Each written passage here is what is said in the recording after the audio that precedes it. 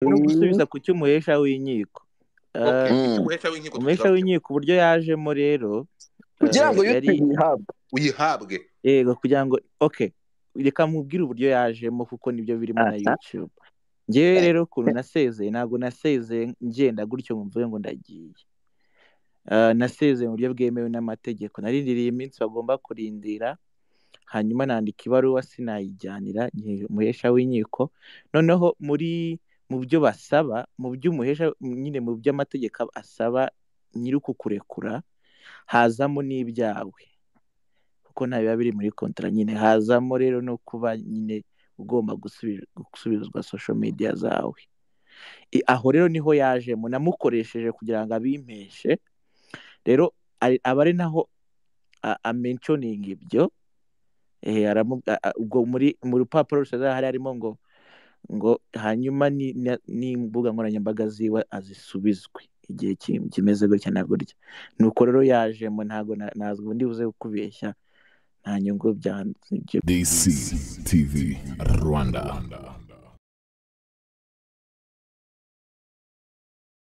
Panax Panax ni ikigo nzahurabuzima wakimenye twa turwara twa hato na hato turazimira. Ubu noneho Panax yatuzaniye poroduwi zikomoka muri Aziya. Umugabane uzwiho imiti ikozwe mu bimera by'umwimerere. Imwe ihashyumuze mu mubiri kuko yuje ubuziranenge. By'umwihariko ab'igitsina gabo ibafitiye Panax Ginseng yongera ubushake mu kurangiza inshingano z'abashakanye hakaba na Serenoa ku bafite ikibazo cya prostate yajemo infection cyangwa se ibyimbye. Panax kandi yagobotse abagore batagira amavangingo cyangwa ubushake bwo kurwubaka abagira imihango idakama cyangwa ihindagurika maze bazanira Nevras si ibyo gusa n'abafite ibibazo by'amavunane by'imitsi by'umugongo rubaga impande. Panagisi bakorera masaje ikagira reflexology detoxification machine ikura ibidakenewe mu mubiri ndetse na hydrotherapy. Panagisi ikorera mu murenge wa kimisagara ku ntaraga neza neza ku cyapa cya tagisi werekeza i nyamirambo. Abo mu bindi bihugu namwe panagisi yarabazirikanye kuko ikorana n'ibigo bibagezaho poroduwi mwifuza kandi mu buryo bwizewe. Hamagara kuri zeru karindwi gatatu magana atatu mirongo itandatu n'icyenda zeru icyenda mirongo itatu na kabiri. Bosco nk'uko mumuzi yaraje ni umuhanga cyane wo kuririmba ariko ufite ubumuga bwo kutabona sinzi na mbivuze neza. Afite ubumuga bwo kutabona ntabwo areba ni impumyi. Ariko ni umuhanga nk'uko mubizi. Uyu ni we niyo bosco. Ntabwo abona. Tubibona cyane umuntu wamufashije cyangwa mubanye nawe ni umuntu bita irene murindahabi. Ntunguwe no kumvamo arine gahongayire. So ubwo dekate urumva dekate afite amakuru yose. So tugiye kugenda twumve. Uyu musore kugeza aho ajya kwandikira. Dekate agatabaza avuga ko kuririmba no kutaririmba ni bimwe kuko abitwa ko bamufasha abakabaye bareberera inyungu ze. Barunda mu gatebo kabo umwana agakomeza kuba mu buzima burutwa. Ni ukuvuga ngo ni izina gusa. Ni tayito ariko aracyari muri situwasiyo ari bacyasitorogoringa aracyabayeho nabi. Yitwa ngo aratanga ibyishimo. Birababaje. Birababaje kubona umuntu nk'uyu nguyu utabona. Cyangwa uwakabaye. Anyway sinzi uko nibisobanura reka dufate dekate dekate dusobanurire byinshi kuri uyu muntu. Nihuse. Nihuse ndabivuga nihuse. Wenda niyo bosco mbarira nawe yaza kuzamuka akabyivugira kuko nta muntu uvuga uvuga ibintu nka nyirabyo. Ubwo icyo gihe abo basore uwo bita irene murindahabi umutekamitwe rusarura mu nduru ubwo niyo bosco yariye hiti ziteye ubwoba ngenzi umuntu umwe wo mu bubirigi wohereje ibihumbi bitatu by'amayero bro. Y'indirimbo yo gukora niyo bosco. Urumva? Bro ariko uza agahinda. Ubundi space zose dukora twagakwiye gukora space nk'amezi atatu ya niyo bosco. Urumva? Harimo amafaranga ayo mafaranga niyo bosco ntamenya ahantu yaciye ashobora kuba n'aya makuru nyavuze akaba ari nubwo bwa mbere yayumvishe. Urumva ah, wenda ashobora kuba atazi kuko abatangaga abitanze bose ayo mafaranga bari benshi cyane bitangaga amafaranga menshi. Anyway ntaza no kubyibagirwa niyo bosco amafaranga ya- yatanzwe aje ku izina niyo bosco. Arenze miliyoni mirongo itanu. Uretse gato mu gihe kingana iki? Mu gihe kitarenze n'amezi atandatu bro. Cyagiye niyo bosco aba niyo kuva kuri iyo ndirimbo kuva kuri iyo ndirimbo umaze gukina. Aso eh, kuri iyi ndirimbo ah. Mm. Urumva? Umusore baramubwira ati nyine eh ngo nuko nguko ngo game ikinwa ngo eh, ngo nugire ikibazo ngo turagafata turajya gutya n'ibiki byose. Noneho imaze kugira views miliyoni eshatu. N'ibihumbi magana atatu iri kuri channel yande iri kuri channel yande uretse gatoya bata bata bata Mm. bata uretse gato. Mm. iyi- iyi ndirimbo ndabona iri kuri channel uh, ya Niyo Bosco. Iyo channel ya Niyo Bosco icyo gihe umunara iriho nyirayo uh, ah, n'uwafataga AdSense ya uzi iyo channel kugira ngo Niyo i- uzi kugira ngo Niyo Bosco agire access iyo channel ukuntu byagenze. Mhm. ni wa munota wa nyuma bavugaga ati nta n'amafaranga magana atanu asigayeho. Tugaruke kuri miliyoni mirongo itanu. So ni ukuvuga ngo Niyo Bosco muri icyo gihe rero amafaranga yose yatanzwe ntiyamenye ahantu aciye. Urumva? Bakamufata bakamufata bakagenda bakamugura utwenda nyine turi aho ngaho bakaza bakamuparadinga kuri noza ngo n'ibiki byose bakamubwira ibintu? Ari buze kuvuga. Abo bantu ndimo kuvuga mu- ni babiri. None se reka ayo mafaranga Aline Gahongayire na Irene barayagabanaga bo ubwabo. Urakoze cyane. Yes. Barayagabanaga.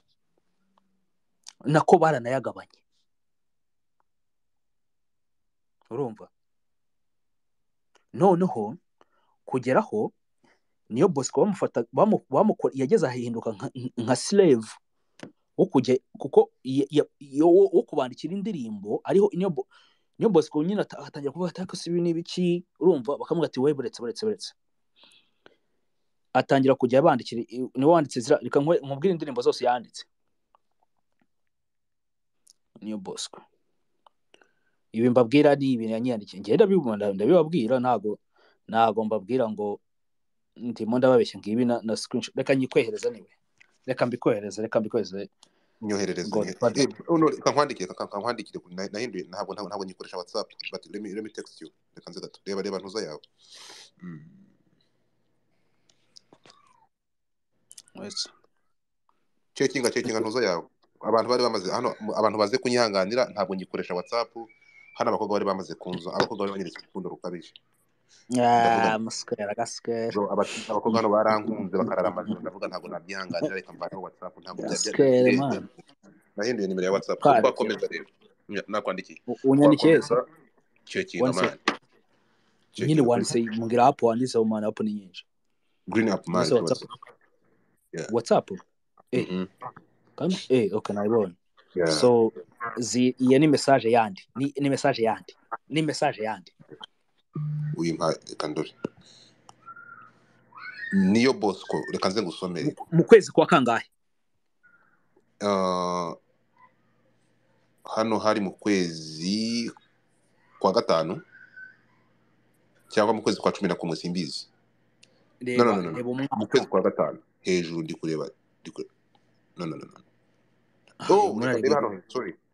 reba izo reba kane ni mu kwezi kwa kane mu kwezi kwa mbere tariki enye z'ukwezi kwa mbere bibiri na makumyabiri na kabiri. Ashize umwaka wose. Umwaka urarenga. Kandi urabona ko messages n'ubundi hejuru zari nyinshi. Nyinshi cyane pe ni nyinshi cyane. nga nga basomere basomere iyo message. Kansome izo nandi izo nanditse uh, saturday by Irene Sano. Oh, okay. Izo nanditse saturday by Irene Sano oya umukire c'est tout by c'est tout okay. Eh. Izi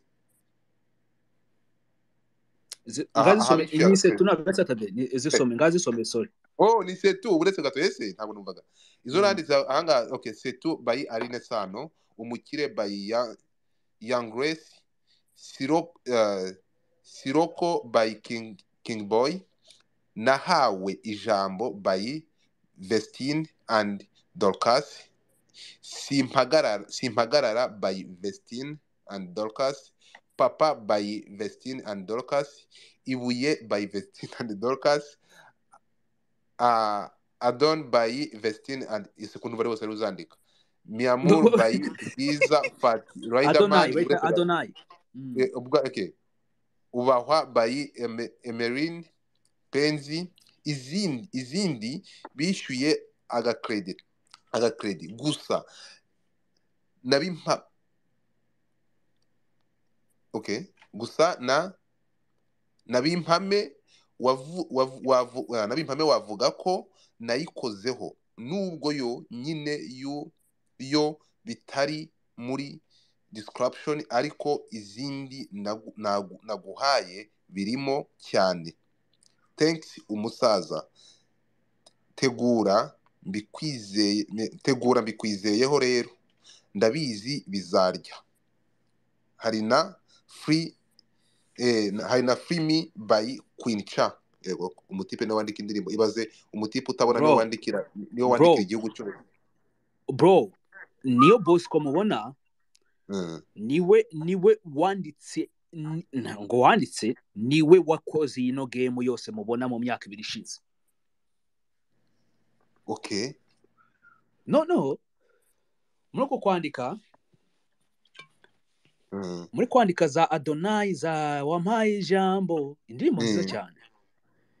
Abana ijambo izi ndirimbo zose za ba Vestina nuko hari muri aho ngaho harimo January 2022 bro. Umwaka wose ushize. Indirimbo zose za Vestina na Dorcas ni Bosco wazandikaga. Mm. ni ukuvuga ngo ni we wakoze bariya ba- bana b'abakobwa mubona. Barabitirirwa rero. Ya noneho Bosco Bosco yahawe iki? Nta na kimwe. Mhm. Amafaranga yoherejwe n'abadiaspora yose yarariwe.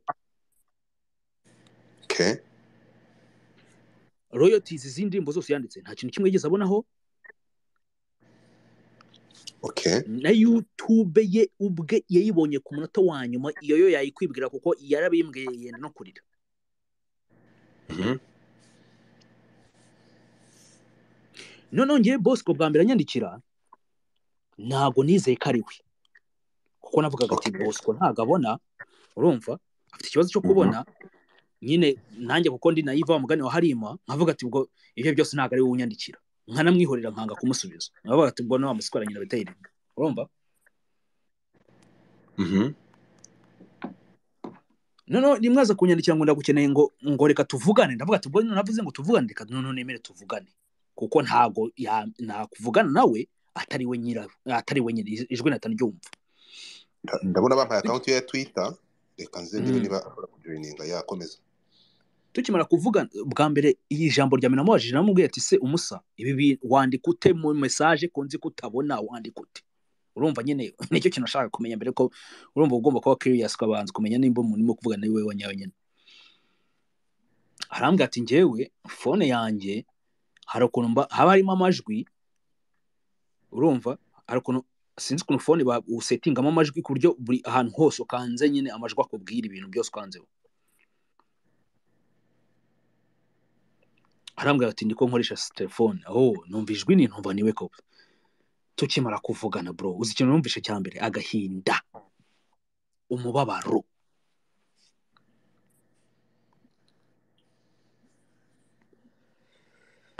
Ambwira agahinda yageze ambwira ibintu byose ibintu byose byaciye ibintu byose byamuwe arambwira ati urabona ibintu byose? Mba meze nk'umuntu nicishwa aha. Ngo ngwino muri interiviyu ngo ngwino turagushaka. Ngwino disi that urumva? Bamucisha ahangaha agira gutya agira gutya. Nta kintu kimwe abona. Ku munota wa nyuma atangiye kuvuga ati ariko se ko maze gukora ibikorwa byinshi cyane nkambona nta kintu mvanamo. Bimeze biti. Za ndirimbo yandikaga zose zaba Vestine ari we wabakoze abana. Bamaze uriya mutekamitwe amaze kubona yuko ba bana yakoze niyo bosco ubwe yakoze batangiye guhitinga. Aravuga ati ariko aho bigeze ba bana bacana murabibuka bacana. Aravuga ati si ba vestina se? Eee ba Vestine ngo na ba Dorcas. Mhm. indirimbo za hiti zose zabo zose. Ni- ni niyo bosco zanditse. Aravuga ati ngo bimaze ngo ngo bimaze kuba akavuyo kenshi ngo ubundi reka no mu kayitasi tumukatire ndashaka uyu ni we bosco ni uyu ni we kandebe niba ari we niyo bosco. Uwo bita ni- niyo bosco. uyu nguyu ibihumbi bitanu se ni niyo ibihumbi bosco urahaguruka wivugire ntabwo uvuga. Uyu w'ibihumbi bine ngo ntabwo ari we ariko bampaye indi akawunti y'abantu bake. Kanze ndebe niyo bosco ngo ntabwo ari we ni we. Ni we. Ufite ufite ufite background yanditseho ngo new song ubumuntu by niyo bosco. Urumva? No. Hari undi hari akawunti bampaye bambwiye ko iyi ngiyi ari catfish. Ara muzamure navuga turamwumva. Hari uyu nguyu ufite ibihumbi bine. Nyine muzamure navuga turamwumva. Twayoberwa se niyo bosco nyawe? Niyo bosco zamuka twumve niba ari wowe. N'abantu ba- ba- bamenye akawunti yawe iri official by the way. Niba utagira ikintu uvuga kuri ibi bintu abantu bamenye akawunti yawe kuko hari abandi bakwiyitirira. Biraza gufasha n'abantu bana- bana- banamenye akawunti yawe. Niba uyu ari wowe kandi niba atari wowe nk'ibihumbi bine nta si ngombwa ugire ikintu uvuga kuri ibi bintu niba utari ready ariko zamuka tumenye zamuka zamuka uvuga ati ndabasuhuje. Gusa tumenye akawunti niba ari iyawe tu- tureke kuyivanga kuko bampaye iyindi ifite abantu niba ari mirongo ine bonyine niba ari mirongo ine ya kandi iyo nandikiye uno se bosco bu- mirongo ine gute? Afite ibihumbi bine. Ya no no no no. baramuriye iyo bambwiye ya niyo bosco ifite abantu baramurya. Baramurya. Noneho ingufu z'ibintu byose yakoze bamujugunya hanze. Abura abura abura ahantu na hamwe ahera bro. Okay Descartes akwandikira akwandikira akwegera akagushaka. Yifuzaga iki? Hanyuma utubwire ahantu shangazi ahurira n'ibi bintu. Ndavuga tantine eh, gafaranga Gahongayire. oya ni gahongayire. Ntabwo ntabwo urabizi kubyo ntabikunda gaf- nyine ngiye kuri njye ni gafaranga yire wowe ni gahonga yire njye ni izina rye ntabwo ari gafaranga yire bro. Umusa. So dukomeze rero kugira ngo utubwire ubufasha bwa bosco cyangwa icyo Bo- bosco yifuzaga cyari iki? Yari bwari ubuvugizi so hanyuma ehe, ahura n'ibi bintu. Ate ko Aline ko duheruka duheruka ka- duheruka kampanye ya Aline ashaka kugurira bosco imodoka. Murabyibuka. imodoka yaraguzwe. iyo modoka iparitse hehe? Ubwo turaza kuhagera. Tugiye kuzura kabuze Eh, ubwo next time tuzandika ngo imodoka imodoka ya niyo bosco iri he? Eh, tuzavuga ngo we need our money back. Komeza. We need our money back bro. Urumva? Ubwo mutipe niyo bosco kuko nawe ntabwo ari injiji. Yatangiye kuvuga ati "Ariko se ibintu byose nakoze mwuka byanana ko nta kintu ndimo kwinjiza. Ndakora ariko nta kintu yinjiza kumva amafaranga yose. Ubwo niko abasore n'inkumi bakomeza kwandikira abadiyasipora yuko ngo ngo niyo bosco ngo arashaka gusohora indirimbo ngo bimeze gutya gutya ngo muheze amafaranga. Niko bakomeza kurya ibiceri. Barya kashi niyo bosco kunyandikira yari bwari mu buryo ibintu byamurenze aravuga ati nene napfunda imitwe. Ni hehe natabaza? Yarimo crying for help. Ashaka rescue. Aranyandikira nanjye mbura ukuntu ndavuga ati so naheraho ibi bintu. Kuko ntabwo nari mbizi n'ibijya n'ibigena gutya. Gusa byose byaje hari ku itariki enye z'ukwezi kwa mbere january 2022 umwaka umwe n'amezi angahe ashize n'amezi atandatu atanu. Arambwira ati ninjye muntu wanditse izi ndirimbo zose ubona? Ninjye wagize gutya? Tuvanyeho ni- ni- n'indirimbo za youtube yanjye udufaranga tuvaho nta- ntamenya ahantu duciye. Ariko n'izi ndirimbo nanditse nta kintu kimwe mbonaho. Ku munota wa nyuma niyo bosco ararwana ararwana bakamucecekesha baka- bakamuzana gusa aje gutanga ikiganiro ngo batwike ku ma youtube yabo. Ku munota wa nyuma ni bwo yavuze ati yarandika njye nigeze no na- nigeze abanku- sinzi wenda niba ari abankurikiramo hano simbizi. Baravuga ndavuga ngo niyo bosco aba- abatekamutwe baramumaze baramuriye baramwishe. Abantu benshi bagira ngo ni joke but it was true. It was niyo bosco urimo gutabaza ngo atabarwe. Urumva? Noneho abatipe baje kubona yuko kwikiza niyo bosco ariyo solution yonyine isigaye. Kuko niyo bosco yari yamaze kubona ko byamurenze. Ibaze nawe umuntu. Umuntu I'm sorry kubivuga umuntu afite ubumuga bwo kutabona nta ariko n'iyo utagira ubumuga bwo kutabona ugira sansi izindi sansi zikwereka ibintu mu bundi buryo. Buriya hari umuntu utabona ariko afite ukundi kuntu abona ibindi bintu agasansinga yuko aba batekamitwe barimo kumurya bitabaho. Yandika ijambo aravuga ati ngo njyewe ngo aba ngo ntago nkiri kumwe n'akana kandi ibiki ibintu biki uzi ibintu bamukoreye bro. Bamukoreye ubuhemu n'ubugambanyi butigezwe bubaho mu mateka y'isi. Baravuze baragiye ba- batangira baravuga ati ntabwo azongera gusura studio. Bamuteranya na produ- abaproducer bamukoreraga abana bose bakoranaga inshuti n'abavandimwe barabateranya. Baravuga ati ngo ntabwo azongera kugaruka ngo niyo bosco nongera kumwakira nawe tuzagukoma.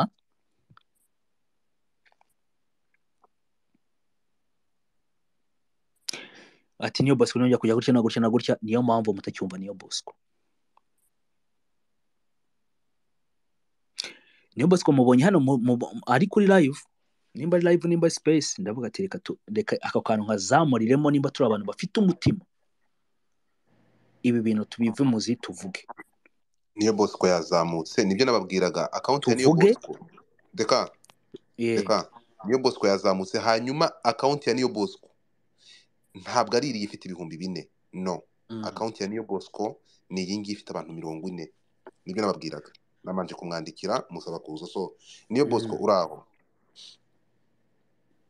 Niyo bosco urabona ahantu hari akantu k'akamikoro hasi ugakanda kugira ngo mikoro yawe ibe open ifunguke.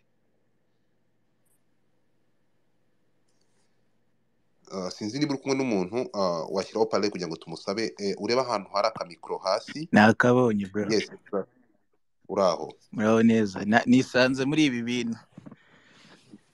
Ya ugomba kubyisangamo kuko ko tugukunda se. Ahangaha nkwibutse ko ukurikiwe n'abantu igihumbi na mirongo ine. Ubu turi kuvugana. Tubutse ko muri tubutse ko akawunti imwiyitirira ubwo twamaze kwica amazi. Twamaze abantu bahita bareba iyi ngiyi iri akawunti ifite ibihumbi bine ntabwo ari iye. Wasanga ari iya murinda habi ntabwo amafaranga abonye ni muri ndahabi ni muri ndahabi ejo nari ndimo mbaza mbaza mbaza ngo space ko nayisanzemo. Mm. maze iminsi nza muri mwebwe nari ndimo mbaza nimba muba mugaragara. None bansobanuriye ko ari Mm. voice gusa. Ni voice gusa ariko ubu ngubu turi kuvugana uri muri space y'umugabo bita kasongo yihwa. Ntekereza ko muzi.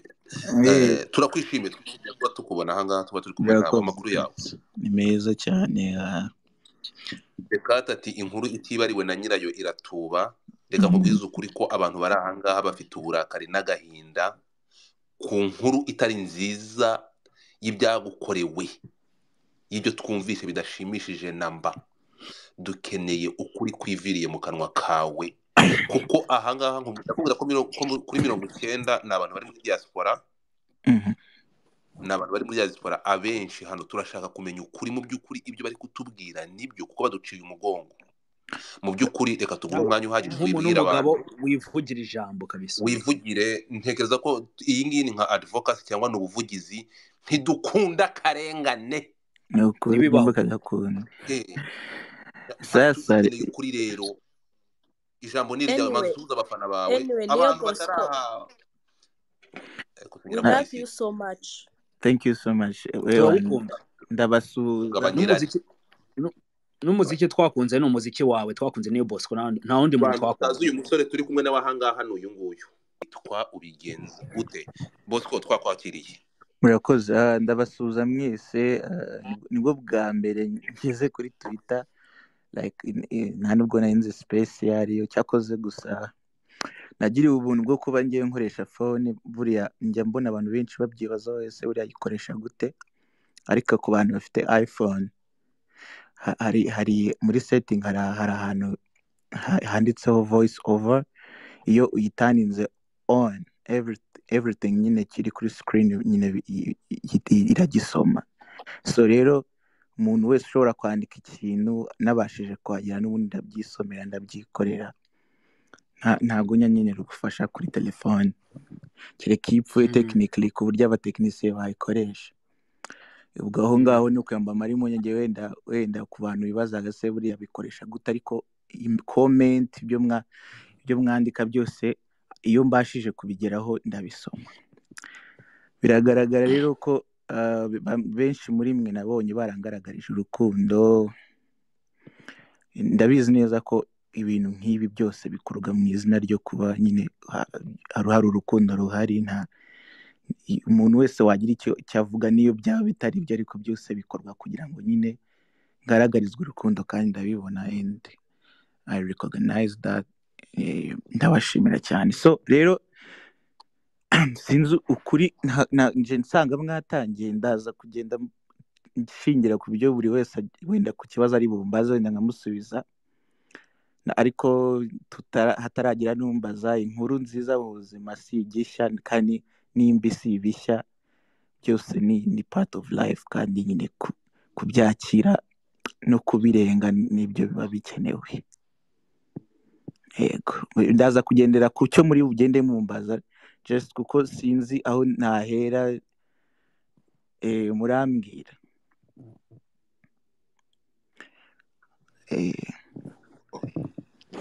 reka nze ushimire cyane no kuba uje. Eh, reka Mm. reka nguhe umwanya nk'umuntu ah, waganiye nawe ufite aho uhera mu buryo bwo bwo kugira ngo tu- tutaza guhera hagati. Fata ijambo. Reka iyi cyangwa ikiganiro ukimukoreshe niyo niyo bosco ni umwe mu bahanzi dukunda cyane twakunze indirimbo ze imwe mu ndirimbo twakunze bwa mbere niyo ndirimbo ukinnye Um, icyo ni ukuvuga ngo byinshi byagiye bivugwa. Ndagira ngo mvuge kuri niyo bosco umunsi yanditse yuko yitandukanyije n'uwo bita irene kuva icyo gihe n'uyu munsi aho bihagaze n'uko bimeze. Ni ikibazo okay Eh, sasa wenda wenda ku- ukuntu byari bimeze ndahera wenda mu mizi aho ku- Mm. ukuntu byaje. vugisha ukuri ntugire ikibazo abanyarwanda barakumva ya. I know I know.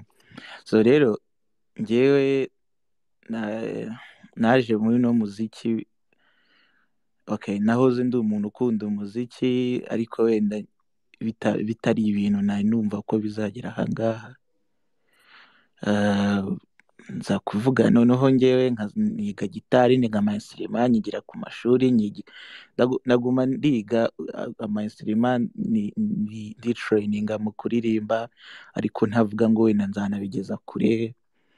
Rimwe na rimwe nkanarekodinga n'uturirimbo nkatuzana ahantu abantu bakabona like down to ari uyu mwana ari down at hill ntago ntago ari umuntu nyine wo kwita akinwa gutya ku maradiyo. Bari bafite sansi Mm. kuko hari hari na benshi bandushaga benda impano cyangwa na, expression nziza kundusha. Sho- rero nuko byaje ariko noneho nza kwaka umuntu nimero amanimero ah, mu banyamakuru rero yamaye hari harimo na Irene. Ntago Mm. nababeshya aha hantu ndi aha hantu ndi kuba munzi gutyo mukina izo ndirimbo mukumva kumva ukuntu umeze ni Irene kabisa. Kuko nyine ah, ni benshi barenze cyane ba- banamurusha wenda no kuvuga ngo ubushobozi cyangwa iki ban- bandenze banyirengagije. Ntabwo rero mu bintu turi buze kuvuga turaza gushyiramo nyine turaza kuvuga ku bibi gusa.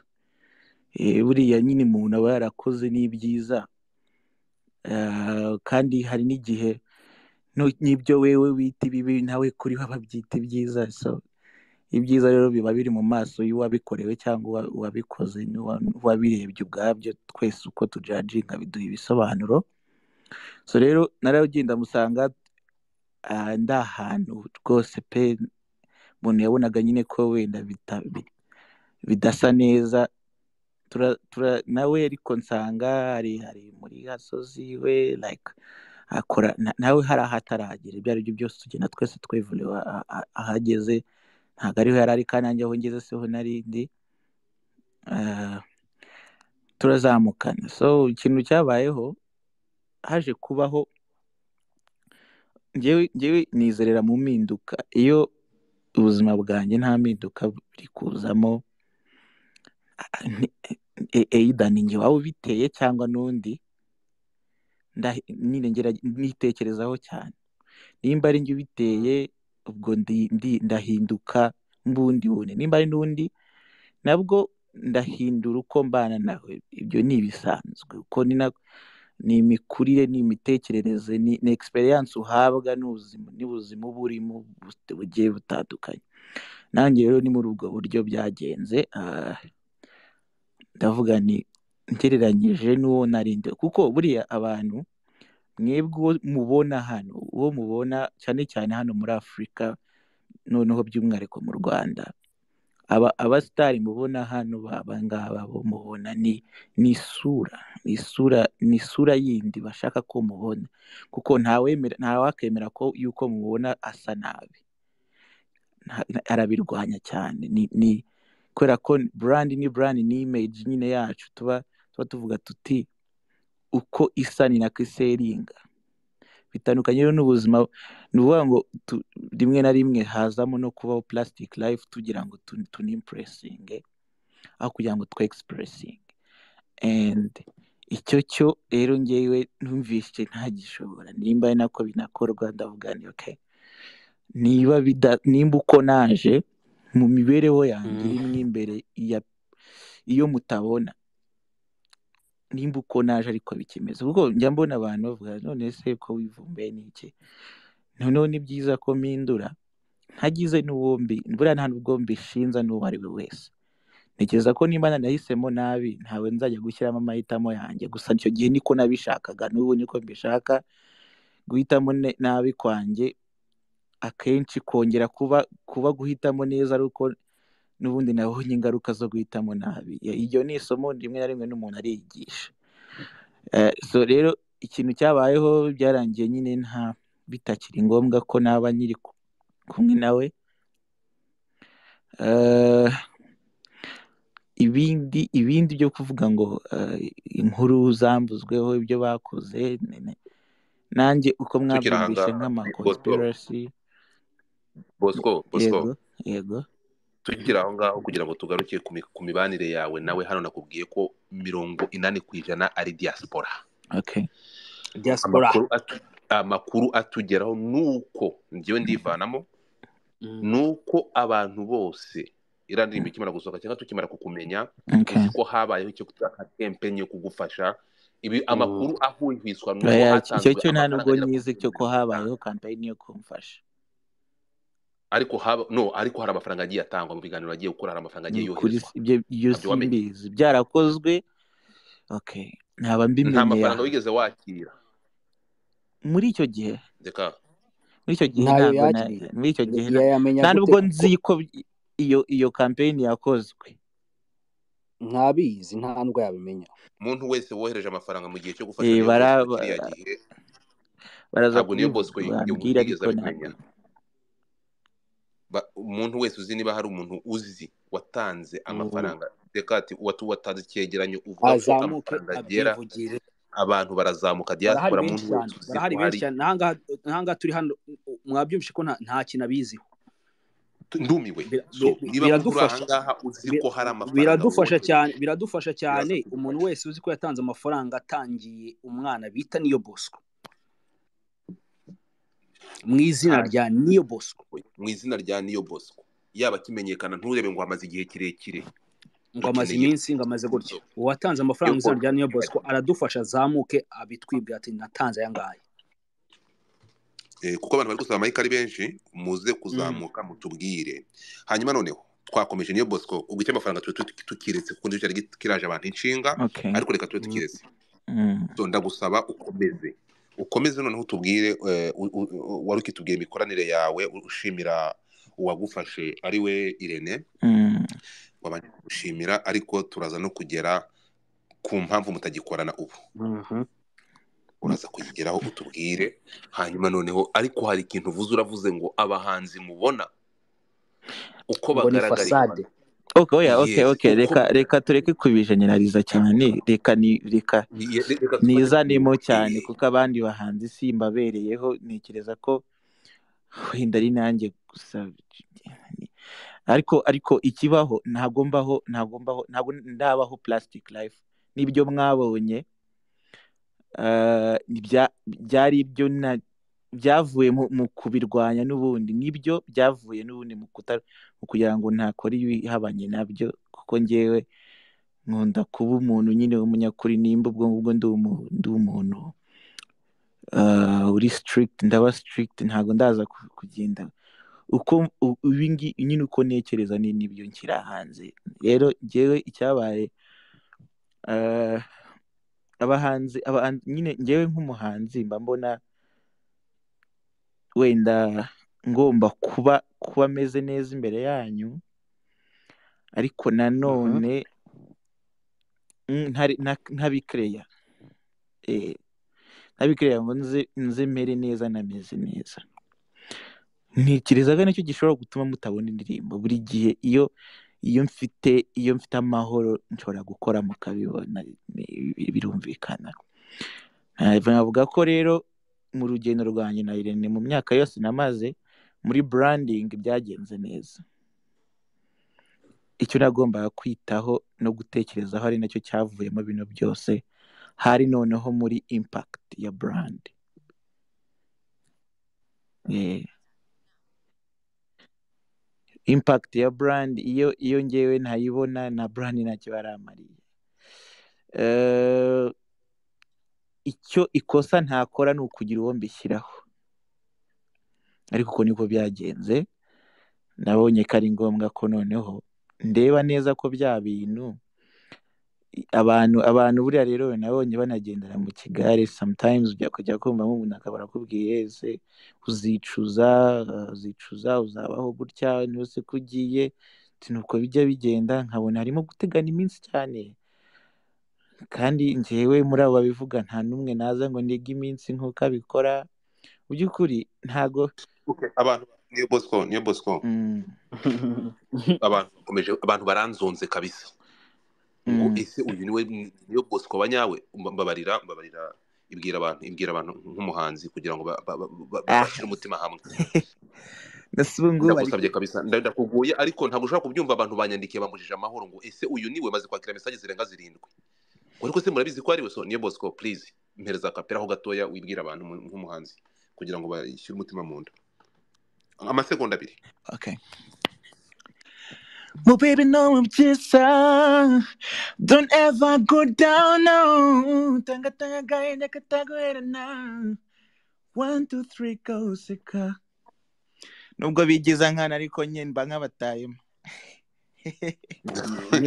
abantu muri aha ni niyo bosco turi kumwe ni we wa nyawe niyo bosco ntabwo nza kujya kure nabonye Mm. dekati amarangamutima atabashije kugira ngo akubaze ariko ngira urabizi ngewe ntabwo mvugiranye n'umuvumbi kumuvumba bitewe reka mubaze ndamubaza ntaciye iruhande. Niyo bosco turabizi ko niba ah, mu buhanga ufite mu mpano ufite ufite impano yo kwandika ufite impano yo guhanga ufite impano ufite umutungo w'ubwenge hano hari umutungo utagendanwa tugira umutungo w'ubwenge icyo uwo ni umutungo w'umuntu ku giti cye Mm. nabashije gusoma mesaje y'amamesaje yangwa cyangwa y'indirimbo zirenga cumi wanditse zamenyekanye mu Yego. biganiro wagiranye n'umuntu umwe wishani dekati mu Mhm. ndirimbo wanditse uriya ni umutungo wawe uratuwita umutungo w'ubwenge Mm. umutungo Mm. w'ubwenge ziriya ndirimbo cyangwa biriya bihangano byawe wanditswe. Tuzi ubundi abantu b'abakire ba mbere babaho ni abantu bakompoza ziriya ndirimbo cyangwa abantu bahanga indirimbo bakazitanga tubwire. Mm. izi ndirimbo wanditse zirenga icumi. Wabonye umusaruro wazo cyangwa warazishyuriwe? Bimeze bite? Ko zi- tuzire aho ngaho kwanza. Zande kuko ni tuza ku za bihangano benshi. ndazigusomera ndazigusomera. Ndazigusomera umbwire ngo iyo narishyuwe. Turahera ku ndirimbo ah, turahera ku ndirimbo setu warishyuwe ya Aline Sano. Sasa okay. Noneho wareka kuzinsomera nka- nkabanza nkavuga ikintu kimwe se. Eh, nk'abahanzi fellowship tugirana bi- biragoye ko yaba iyo kuba ya- yaba iyo kuba describable imbere y'abafana. Kubera ko hari hari n'uburyo hari uburyo duhuza urumva? Icya mbere turi turi turi umuryango. Uko nziranye n'abantu hari uburyo duhuzamo hari ibyo dupanga hari ibyo tuvugana kugira ngo ikintu tuba twagikorana gisohoke hanze. Nta- ntago ntago complaininga kutishyurwa kabisa. Kubera ko eh, nyine ntago ntago izo ziri muri issues zanjye. Cyakoze gusa Okay. of course ni akazi ni akazi baba babimenye batagira ngo nshobora kuba nanabikorera ubuntu. Ariko uburyo bwose na- nanditse indirimbo mukamenya ko nayanditse byari bya- biri fair. Eh, nanditse indirimbo za ba Vestina hafi ya zose ndumva izo ntanditse ntabwo zirenga ebyiri. Zino basohoye nshyashya. Kuko wenda ntabwo nabashije kongera gukomeza kubabona. Gusa n'abana nyine baje ba- ba- numva ndabakunze baririmba neza. Baza baririmba indirimbo zanjye numva na byo binkozaho ndavuga ni nanjye icyo nabasha gukora niyo ntabaha amafaranga ariko nzabavungurira ku mana indimo kandi byarabaye glad nyine ko ko byibuze hari aho bageze hariho n'itafari ryanjye. Ahoho numvaga nta nta nyishyu bangomba inyungu zanjye zari ukubabona bashayininga biri kuba. Abandi rero kwandika kwa- kwandika ntabwo ari mu bibazo numva mfite cyangwa n'ibintu numva nakintroducinga ntabwo kutishyurirwa indirimbo birimo. Mm, niyo bosco? Yego. Eh, tukiri aho ngaho ah, ubwo twa iki kibaye clear ubwo dekataraza kukikubaza ko mwa- nibo mwanakiganiriyeho Mm. yego. Okay. Eh, tukiri aho ngaho ndashaka kugira reka mbwire abantu bosco aje afite abantu mirongo ine ariko se mwabaye muti bosco aje afite abantu mirongo ine amaze kugira magana atatu gusa. Ndashaka iki? afite igihumbi. Bafite ah, igihumbi ya eh, amaze kugira abantu magana atatu abantu magana atatu magana abiri na mirongo ine bamaze kumuforowinga n'abandi dutangariza abanyarwanda ko wanyabo yacitse amazi. Ya catfish ya- ya ya- catfish yanagiye ese hari hari umuntu witwa niyo Ah, bosco wundi? Ufite ibihumbi afite bine. ibi- ibihumbi bine? Wowe ufite mirongo ine? So ah, nanjye ubwo nari niyo bosco nta, ariko ariko twamaze kumenya akawunti yawe nta kibazo. Abantu muforonge niyo bosco uh, uriya w'ibihumbi bine turahita tumubaninga turayiripotinga Nta- ntabwo byemewe gukoresha izina ry'umuntu niyo bosco arimo araba umwana mwiza cyane. So bosco reka kuba umwana yaba umwana mwiza ni akazi ke. Bosco hano ukurikiwe n'abantu anyway ibyo birakureba ngo uri hano abanyarwanda bagukurikiye ibyo uvugira hano niko babitwara iyi kabisa. Nanjye niko nshaka byaba byiza ariko tugiye gutangira twumvikane ikintu kimwe. Ndashaka kubyumve. Iyo dukoze Mm, space nk'uku nguku mm, tugakora advocacy. Ntabwo tunyura ntabwo tunyura iruhande. Aha mm. ngaha ntabwo tugomba tu- tuzo- gufata ntabwo ibyo tuzajya kubisubiramo. Ntabwo tuzongera kubisubiramo. Iki ni cyo gihe ntabwo tuzongera guhustinga niyo bosco. Ni ukuvuga ngo ibi ngibi Mm. turi kuvuga aha umere nk'umuntu ndavuga gute se? Ntabwo ari kuri youtube. Kuko aha ngaha ibi turi kuvugana hafi ya youtube zose zo mu rwanda ziraza kubifata iki kiganiro ziraza kugikoresha. Sasa biraza kumfasha rero. biraza bira- kugufasha kugira ngo wirekure yego eh, uvuge utubwire utubwire. Ntabwo tuza kunyura uruhande. Ugerageze kutwumva. Ntabwo twe aha ngaha twe dukora advocacy. Turavuga. Ntabwo twebwe eh, kuvuga ntabwo twaza nk'abanyamakuru ngo tugukarese. Aa niyo bosco. Mm, warahemukiwe niyo makuru atugeraho nk'abafana warahemukiwe mhm. abakagufashije. Bafata izina ryawe barikoresha mu nyungu zabo bwite. Turashaka kumenya ahantu. Irene murinda habi na urabizi. bagukoresheje ibyo urabizi. Dukeneye ukuri dukora advocacy ntabwo niyo bosco n'iyi mpano agomba gufatwa ngo akoreshwe mu nyungu z'abantu bwite babona ibintu ni bibiri. Harakorwa advocacy niyo bosco kuri map. Ikindi ibyo byo us- kugira ngo us- muyoboke usibye na niyo bosco n'abandi bose ibyo byo kuvuga ngo ntabwo ushaka kwitiranya n'abantu. Mm, Mm. ibintu byo kuvuga ngo ntabwo ushaka kwitiranya n'abantu biba byiza iyo uvugishije ukuri ku buryo ikintu cya mbere gisetinga umuntu free ni ni ukuri. I know. Ariko ugomba ibintu byose nawe byarukura ahubwo njyewe muraza kumfasha. Noneho njye nkora akantu buri kantu kose muvuzeho umuntu ambwiyeho nkavugeho. Nimushake wenda n'undi muntu by'icyo atekereza yumva reka mukoreshe kuvuga mbivugeho. Ariko njye sindaza bosco tugendane gato. Ndagukorera nk'uko ubishaka. Bosco Mhm. niyo mpamvu yatumye gutandukana n'uwari manager wawe cyangwa n'uwareberaga inyungu za Mhm. Reka guca hejuru ngo igihe cyageze n'ibiki byose ngo ngo ngo bigenze gutya okay. vugisha ukuri. Mhm. okay impamvu yatumye uh, nta- ntabaye ntari kumwe na Irene uh, ni we n'ubundi twari turi kumwe ntabwo ndi bubabeshye ku- kutavuga ntekereza ko kuvuga cyane atari byo biri, mu bintu biri bungire umwana mwiza wenda nsanzwe ntariwe cyangwa ndiwe Uh, ikintu gihari hari hariho kutabona umusaruro wa brand. Nari nabibabwiye ariko wenda nabibabwiye mu buryo mutabyumvishe hari branding nziza cyane nzahora numva nazirikana yo kuba umuntu yaragufasha akagushyira ahantu. Numva nyine ibintu abantu benshi bananiwe gukora kandi bari babifitiye ubushobozi. Ariko uh, impact ya brand. Ni ubaho buriya hari umuntu ushobora gutekereza kuvuga ngo "Eh, ngo ni uko nguko ngo bigenda ngo umutini muvurije ngo wacyaga ari gukandira. Nabonye udukomenti nk'utwo ngutwo ariko like kubera ko uba utazi ukuntu nari ndiho ntanakuganirizaga. Utazi n'intego yanjyanye muri uno muziki ntabwo ubwo buzima wabumenya ntabwo ibyo nshaka wabimenya.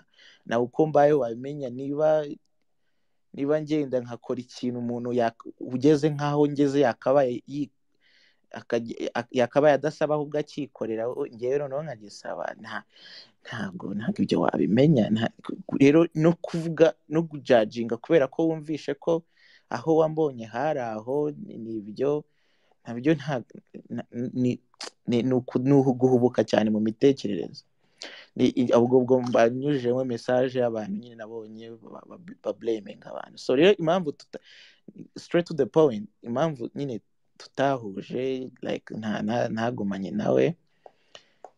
Yari ari busy yari ari busy yari afite brand ni ebyiri zikomeye. Yari ari kumanaginga afite akazi ke nako gakomeye kamusaba guhora akora amanywa n'ijoro. Mbona kumanagingana n'ibyo byombi biri kwica biri kwica impact ya brand kuko brand ye irakomeza igakura. Ariko ariko ariko ntago ntago ngiye brand nta- ntago nyitaho. Kuba kuba munzi ni ukuri kw'Imana. Munzi mubare mubwire nk'ubu munzi munzi ndi nk'umusazi cyangwa mukaba munzi ndwaye. N'abantu bajya barwara mukaba mubazi n'abantu bakame ba- bakaba bafite ikindi kibazo mukabamenyera ku bw'icyo kibazo. Ariko buriya kumenya kwanyu ni byiza ariko uko munzi na byo iyo atari ibyo na byo ni bibi.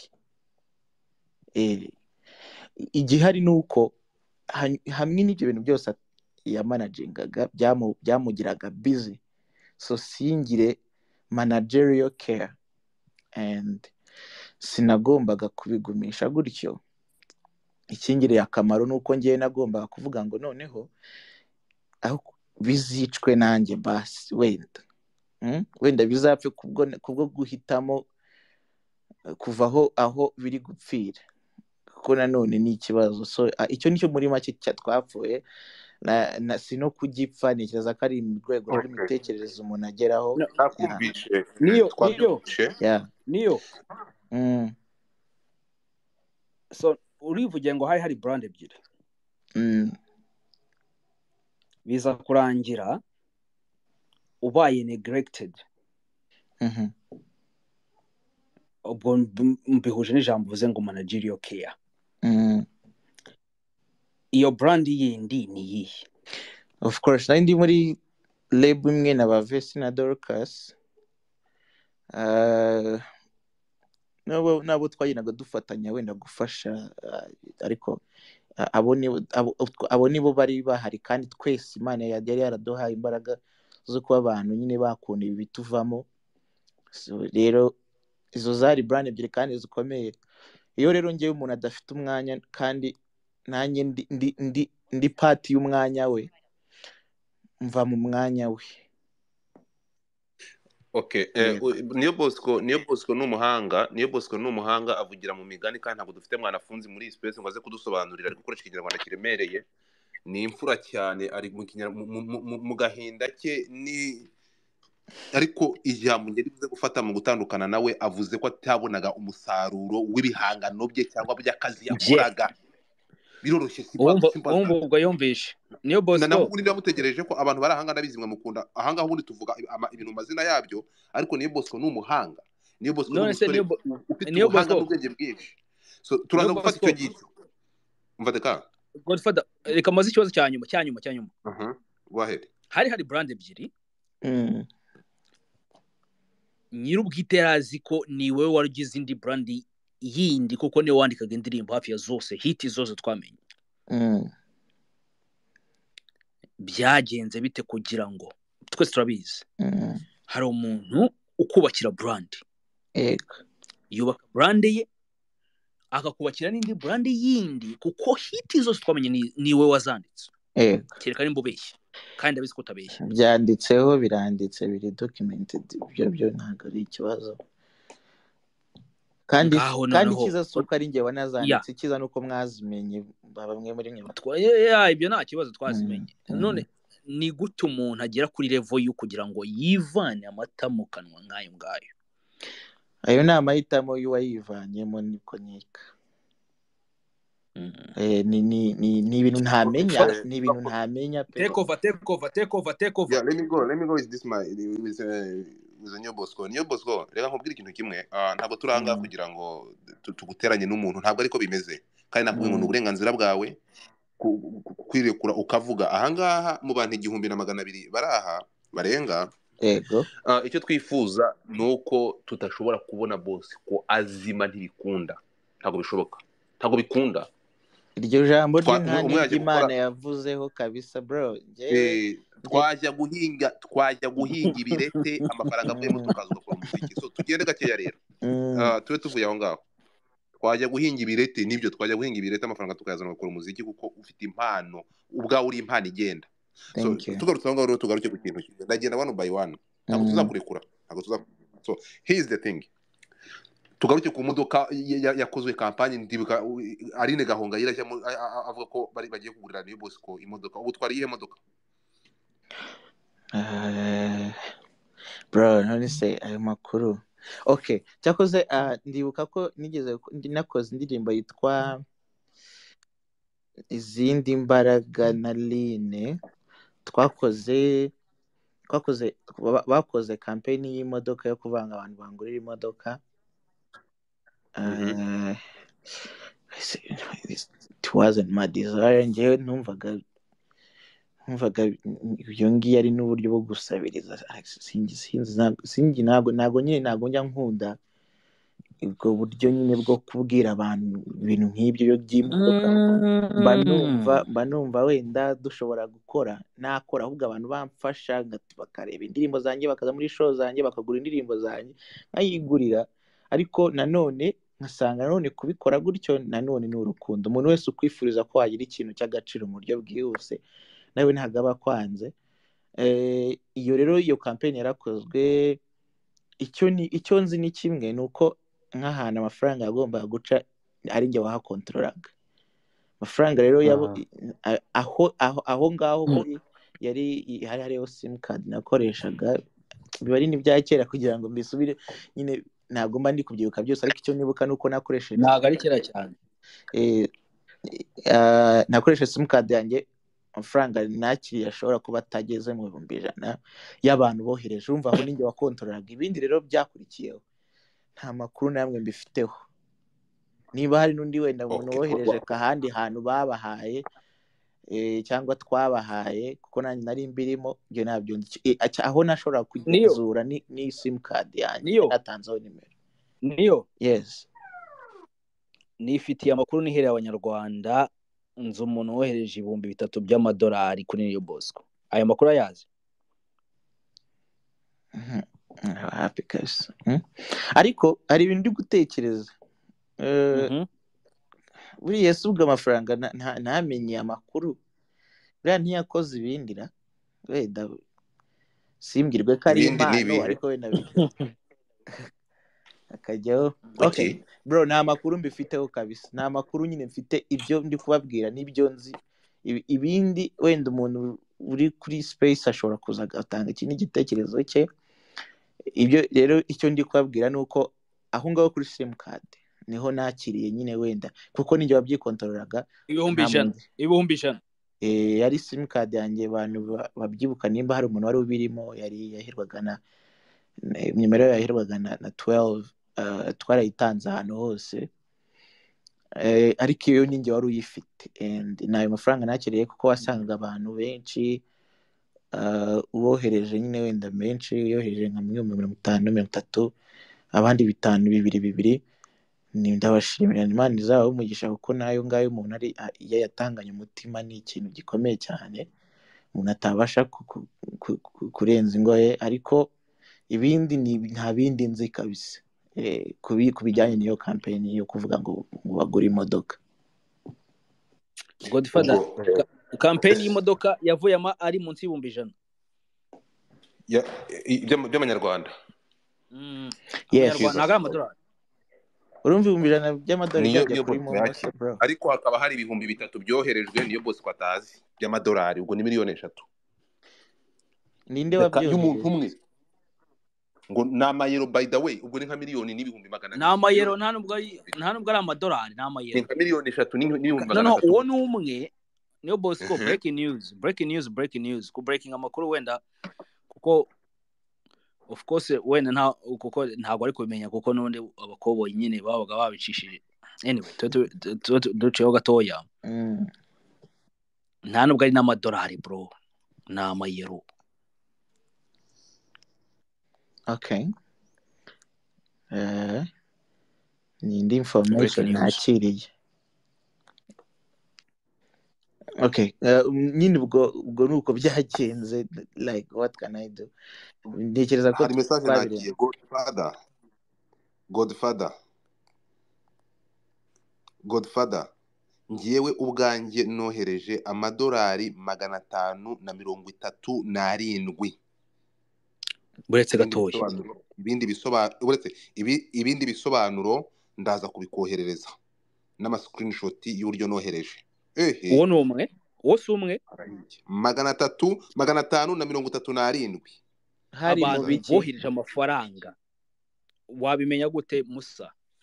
Like nyine ah, aho harimo hari iby'imodoka cyangwa ngerageza numva abantu bangiriye neza. Abo bantu rero ndanabashimira babikoze mu izina ryo kugira ngo wenda umuntu bagire. Ah, kuri iyi nshuro turi kubivugaho nta kintu na kimwe dushobora kubikoraho usibye wenda kubi- kubivugaho. ntabwo ariko uribeshya cyane uribeshya cyane uri gutekereza ko ari kubivuga gusa uribeshya cyane no no no no no no muto harimo no gusubiza ibihe inyuma se noneho nkayakira turasubiza ibihe inyuma amafaranga turasubiza ibihe inyuma kandi tuzana ibyajyanye n'ibyo bihe tubigarure murarenze murarenze cyane ntabwo ntabwo ari uko nta- ntabwo ari uko niba utekereza ko ibintu bya mbere icya mbere izina ryawe rigomba gusubira kuri map. Urumva? Icya Mm. kabiri ntabwo amafaranga ajya agenda ntabwo ajya agenda gutyo. Ibyo ni byo byibagirwa. Rero ndashaka gusaba umuntu wese uzi ko hari igikorwa cya niyo bosco wigeze ugeramo no kohereza amafaranga nyandikira muri dm nk'uko aba bandi bari kubigenza. Niba ndakohereza. amadolari atanu ubyandike. ndakohereza na details z'uwo muntu anyway. Uzize gusa i- izaba izaba anonymous ariko ndabikohereza ubyirebere. Thank you so much. So icyo icyo icyo icyo dusaba ntabwo mu by'ukuri Ben Kayiranga Ben Kayiranga ushobora kuba umuzi. Ben Kayiranga uze kuzamuka. Wari wasabye ijambo hari ikintu ushaka kubwira niyo Bosco uze kuzamuka. My brother. Ni umurigende. So tukiri aho ngaho rero. Niyo Bosco. Yes. Tuvuye kuri icyo cy'imodoka Mm. ah sinzi niba Aline Gahongayire ari kuza muri iyi kese kubera iyi banza modoka umubaze Aline Gahongayire mufitanye uwe mubano umuzi gute bimeze bite okay twagiye sha bro ngewe ngewe umuntu ufitanye nawe umubano nyine like mwanamenye ntekereza ko ari Irene Aline Aline ni ni inshuti yanjye na rero Aline we ni inshuti yanjye kabisa n'abandi ni inshuti zanjye ariko Aline nyine nta nta nta kindi kintu kirenze kuba tuziranye ari umuntu nduta ungira inama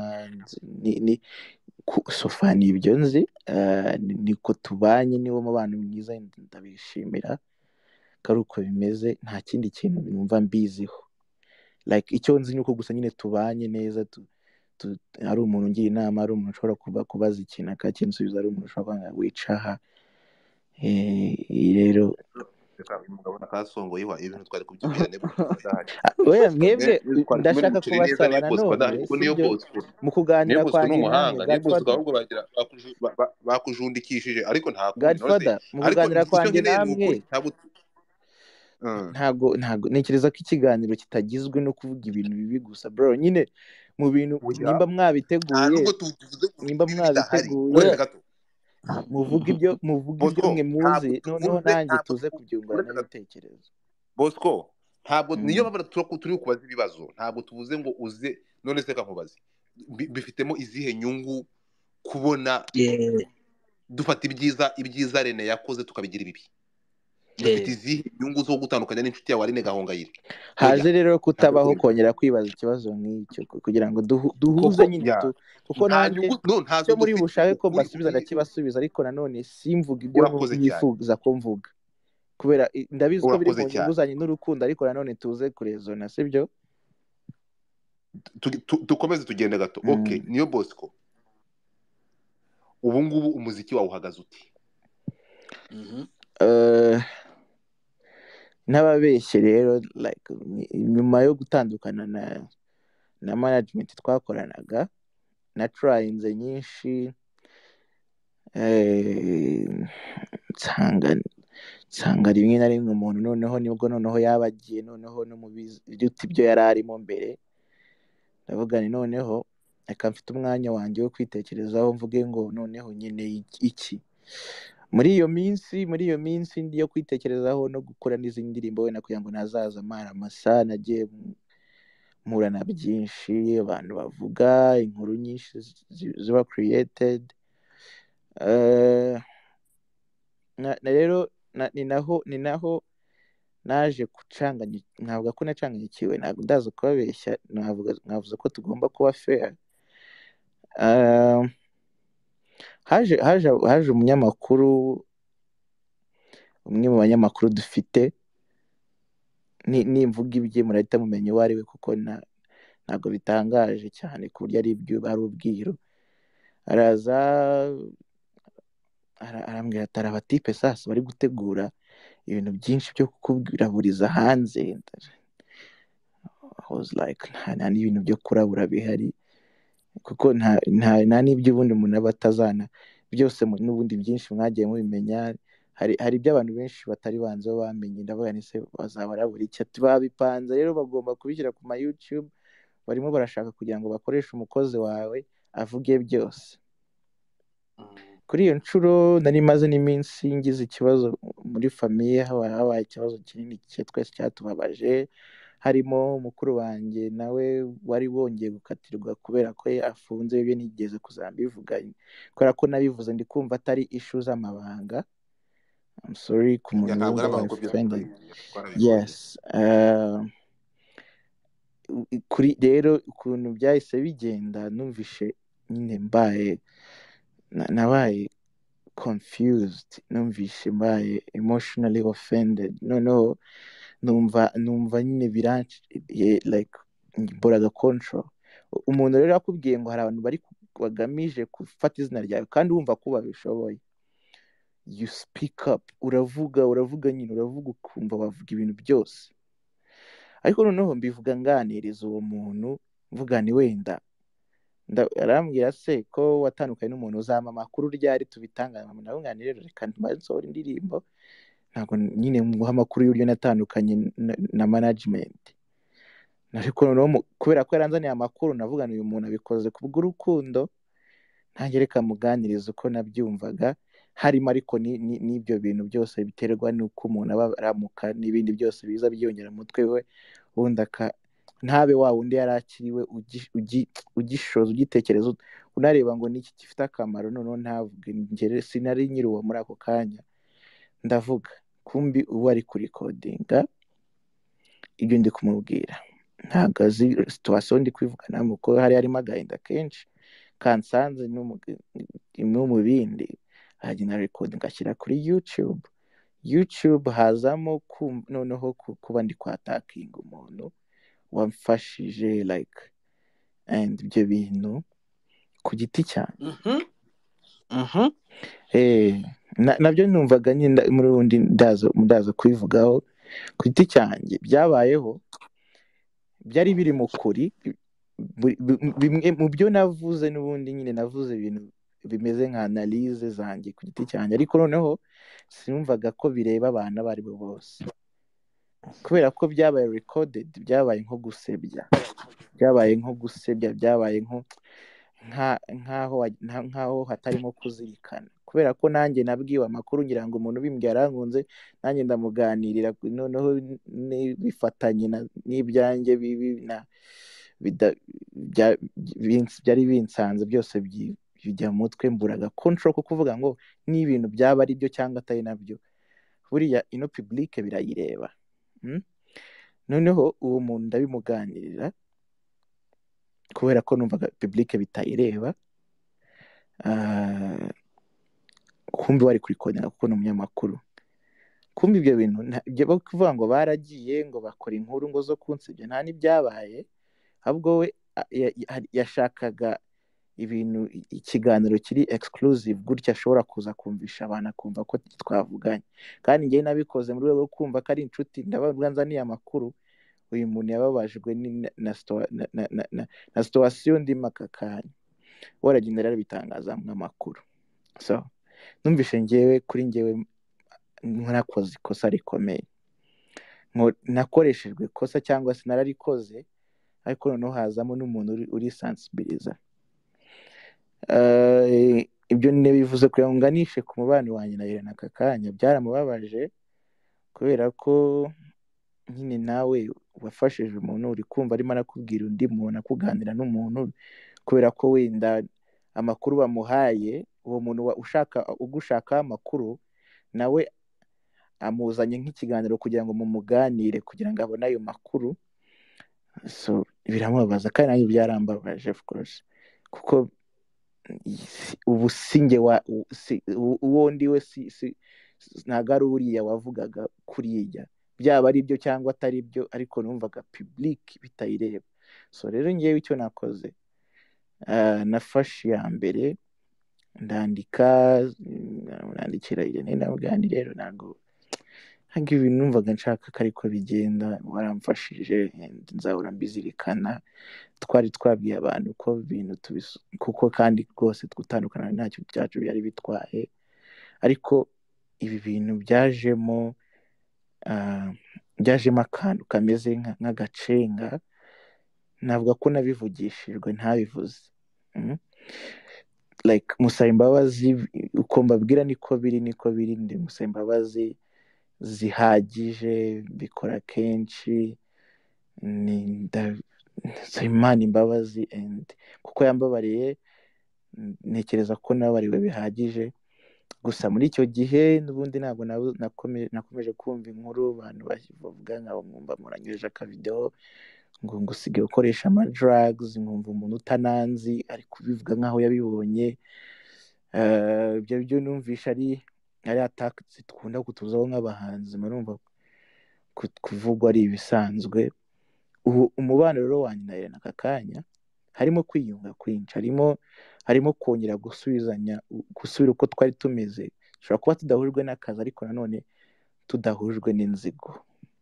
Nta muntu n'umwe wagiranye inzigo n'undi ni cyo ni cyo numva aka kanya niyo mpamvu aka kanya mfite amahoro. Ariko umuziki wanjye uko umeze ubu of course wasubiye inyuma kuko maze igihe kirekire nasohora indirimbo hari hazamo n'ubushobozi no kugira ngo uko naje n'ibihangano byanjye urwego byari biriho ntazapfa kuvuga ngo reka mfe gukora noneho nkore ibintu bito kurenza uko byari bimeze. Ndavuga ni reka nikusanye kuko birashoboka ndandika ndandika nako nako ni akazi kantunze ndavuga ni reka nandike reka nkore iki? Nzaze mvuga ni noneho. Ah, noneho abantu banyumve uko ukonje Ah, ubu rero mugiye kuri alubumu yitwa ijwi ry'umutima muri twiti zanjye baraza kubibona baraza kubona ndi kugenda nyivuga cyane. Alubumu yanjye izaba igizwe n'indirimbo zigeze muri cumi n'ebyiri hagati ya cumi n'ebyiri na cumi n'eshanu ziri kurangira. Nta gihindutse nko kuri bir- birthday yanjye. Izaba ari kuri 25th May. Nzahita nsohora indirimbo. Nuko nuko umuziki wanjye uhagaze ah, uruhare rwabyo ni uko n'ubundi nyine ibibazo nk'ibyo bibayemo ira, iranyeganyezwa tu niyo mpamvu. Alright aha. Ikintu mbashije kumva ikintu mbashije kubona. Eh ariko ibaza umutipe ufite ubwenge bungana gutya umutipe uca umutipe w'umuhanga gutya. Eh mbega umugabo.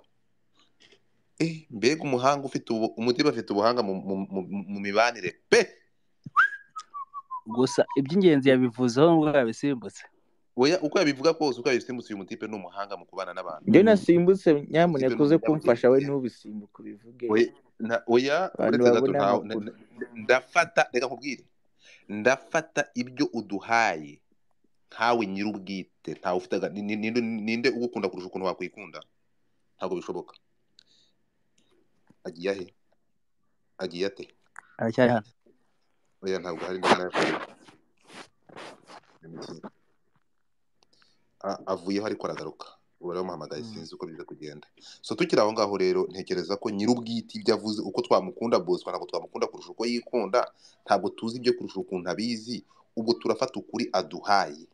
Hanyuma noneho tugiye gusesengura yagarutse. Bosco yagarutse. Turaza kurebera hamwe. Niyo bosco ati ibyo nari ntegereje mu byo nakoraga umusaruro w'ibyo nabibye ntabwo nawubonye mpitamo gutandukana na management nari ndi kumwe na yo. Sase e icyo cya mbere ni cyo turi buze gusesenguraho. Icya kabiri imodoka niyo bosco yagombaga guhabwa byagenze gute? Ibihumbi ijana. Uretse gato ibihumbi ijana tubwiye yakiriye by'amanyarwanda niyo yatanzwe aya yandi yagiye he hari undi niyo niyo yakatifishi twabonye hano hasi yayakiriye. Hari undi unyandikiye ati natanze ibihumbi makumyabiri na bitanu. Eh, uyu we ni danje uyu wa makumyabiri na bitanu hari undi watanze aranyandikiye ati njye natanze makumyabiri na bitanu tukiri aho ngaho rero ntabwo ngewe nshaka kugira ngo reka dushimirire ku ruhande rumwe kuba yaratandukanye n'umuntu aya masaha ubu bintu yabanye nawe aya masaha akaba uko, bose twamuvuze ntabwo rene ari ari uko twari tumaze kumwumva ntekereza ko tu- tu- turaza kubigarukaho ariko tugarutse anatanda mu mibanire ya rene n'itandukana rya rene n'uyu mugabo ndumva hatarabayemo guterana ibicupa ibimene by'amacupa no batandukanye nk'imfura. Uko ndi kubyumva. This guy is very so uyu mutipe ari smart mu buryo birenze uko mubitekereza niko niyo bosco arimo kubivuga. Bitewe n'ibyo bosco ari kuba kandi ntabwo turi bufate ibirenze ibyo nyir'ubwite atwibwiriye yeah. so bivuze ngo niyo bosco ntabwo yigeze abona umusaruro yagombaga kubona mu kazi yakoraga. Turaza kureba esike ibihangano by'uyu musore cyangwa akazi yakoraga umusaruro we wajyaga he? Cyangwa ntawe we eh, yarategereje. Mm, ariko byapfiraga he? ese niba ko tuzi ko wakoraga mu kureba kwacu tukaba tubona ibikorwa byawe byaka- bya- byakabaye byara- bya- bya- byakabaye byaraguhaga umusaruro. Byagenze gute uwo musaruro kugira ngo ntuwubone aho ngaho ni ikibazo turaza kwibaza uko tubitekereza n'uko twabibonaga ibyo wakoraga wagombaga kubona umusaruro. Ntabwo aya masaha ukaba unaniwe gukora indirimbo. Kuko uri umuntu uhagurukije igihugu cyose n'amahanga arahaguruka abaturanyi barahaguruka bamenya niyo bosco. Twakubonye mu bitaramo birenze kimwe. Indirimbo zawe zagiye kuri youtube. Uri mu bantu bafite indirimbo ifite views nyinshi kuri youtube channel. Ikindi kintu nshaka kubaza niyo bosco kugira ngo dusigare mu busesenguzi bwacu. Niyo bosco youtube channel yawe. Amakuru atugeraho ko kuyibona nabwo wamanje kwiyuha icyuya yari mu maboko y'undi muntu bimeze bite? Tubwire kuri youtube channel yawe. Ese ibihangano byawe byose biri kuri youtube channel yawe? Cyangwa yari mu maboko y'undi muntu? Gira ikintu bitubwiraho ku byerekeranye na youtube channel. Ese ni rumors youtube channel ntabwo yigeze ijya mu maboko y'undi muntu utari wowe? Ijambo ni ryawe niyo bosco ku cyerekeranye Eh, like n'ubundi biraza kugaruka mu gushimira wayikiriye kuko youtube ntabwo yari iyanjye. Yari iya Irene ariko nyine ah, yubakiyeho ibintu byanjye like bijyaho. So rero ukuntu byari bimeze ndumva nako narakavuzeho ntabwo ndazi n'ubundi kugenda kugenda ntakavuzeho youtube youtube yanjye ah, byabanje gusa n'ibigoranye ariko simpamya ko kugorana kwabyo byari bishingiye mu kuyinyima ahubwo ni uburyo ihererekanwa rya Yu- rya youtube nyine n'undi muntu wundi uyisubiranye bi- rigenda ababizi neza ntabwo youtube ihita uyiha umuntu ngo birangire. Hariho kurindira ngo ukabanza ukaba primary owner eh, hari nyine hari step bisaba. Izo rero nizo zakurikijwe ntabwo habayeho gufosinga. Ubundi ubundi ahantu ha- haje kuviramo ikibazo ni muri ni uko mutabyitayeho ni muri ya majwi nafashwe noneho akaba ariho ahubwo ibintu yego y'umuntu ayo makuru ayo majwi wayafashwe ayo majwi wayafashwe uramaze gutandukana na management yawe. Yego yego yego.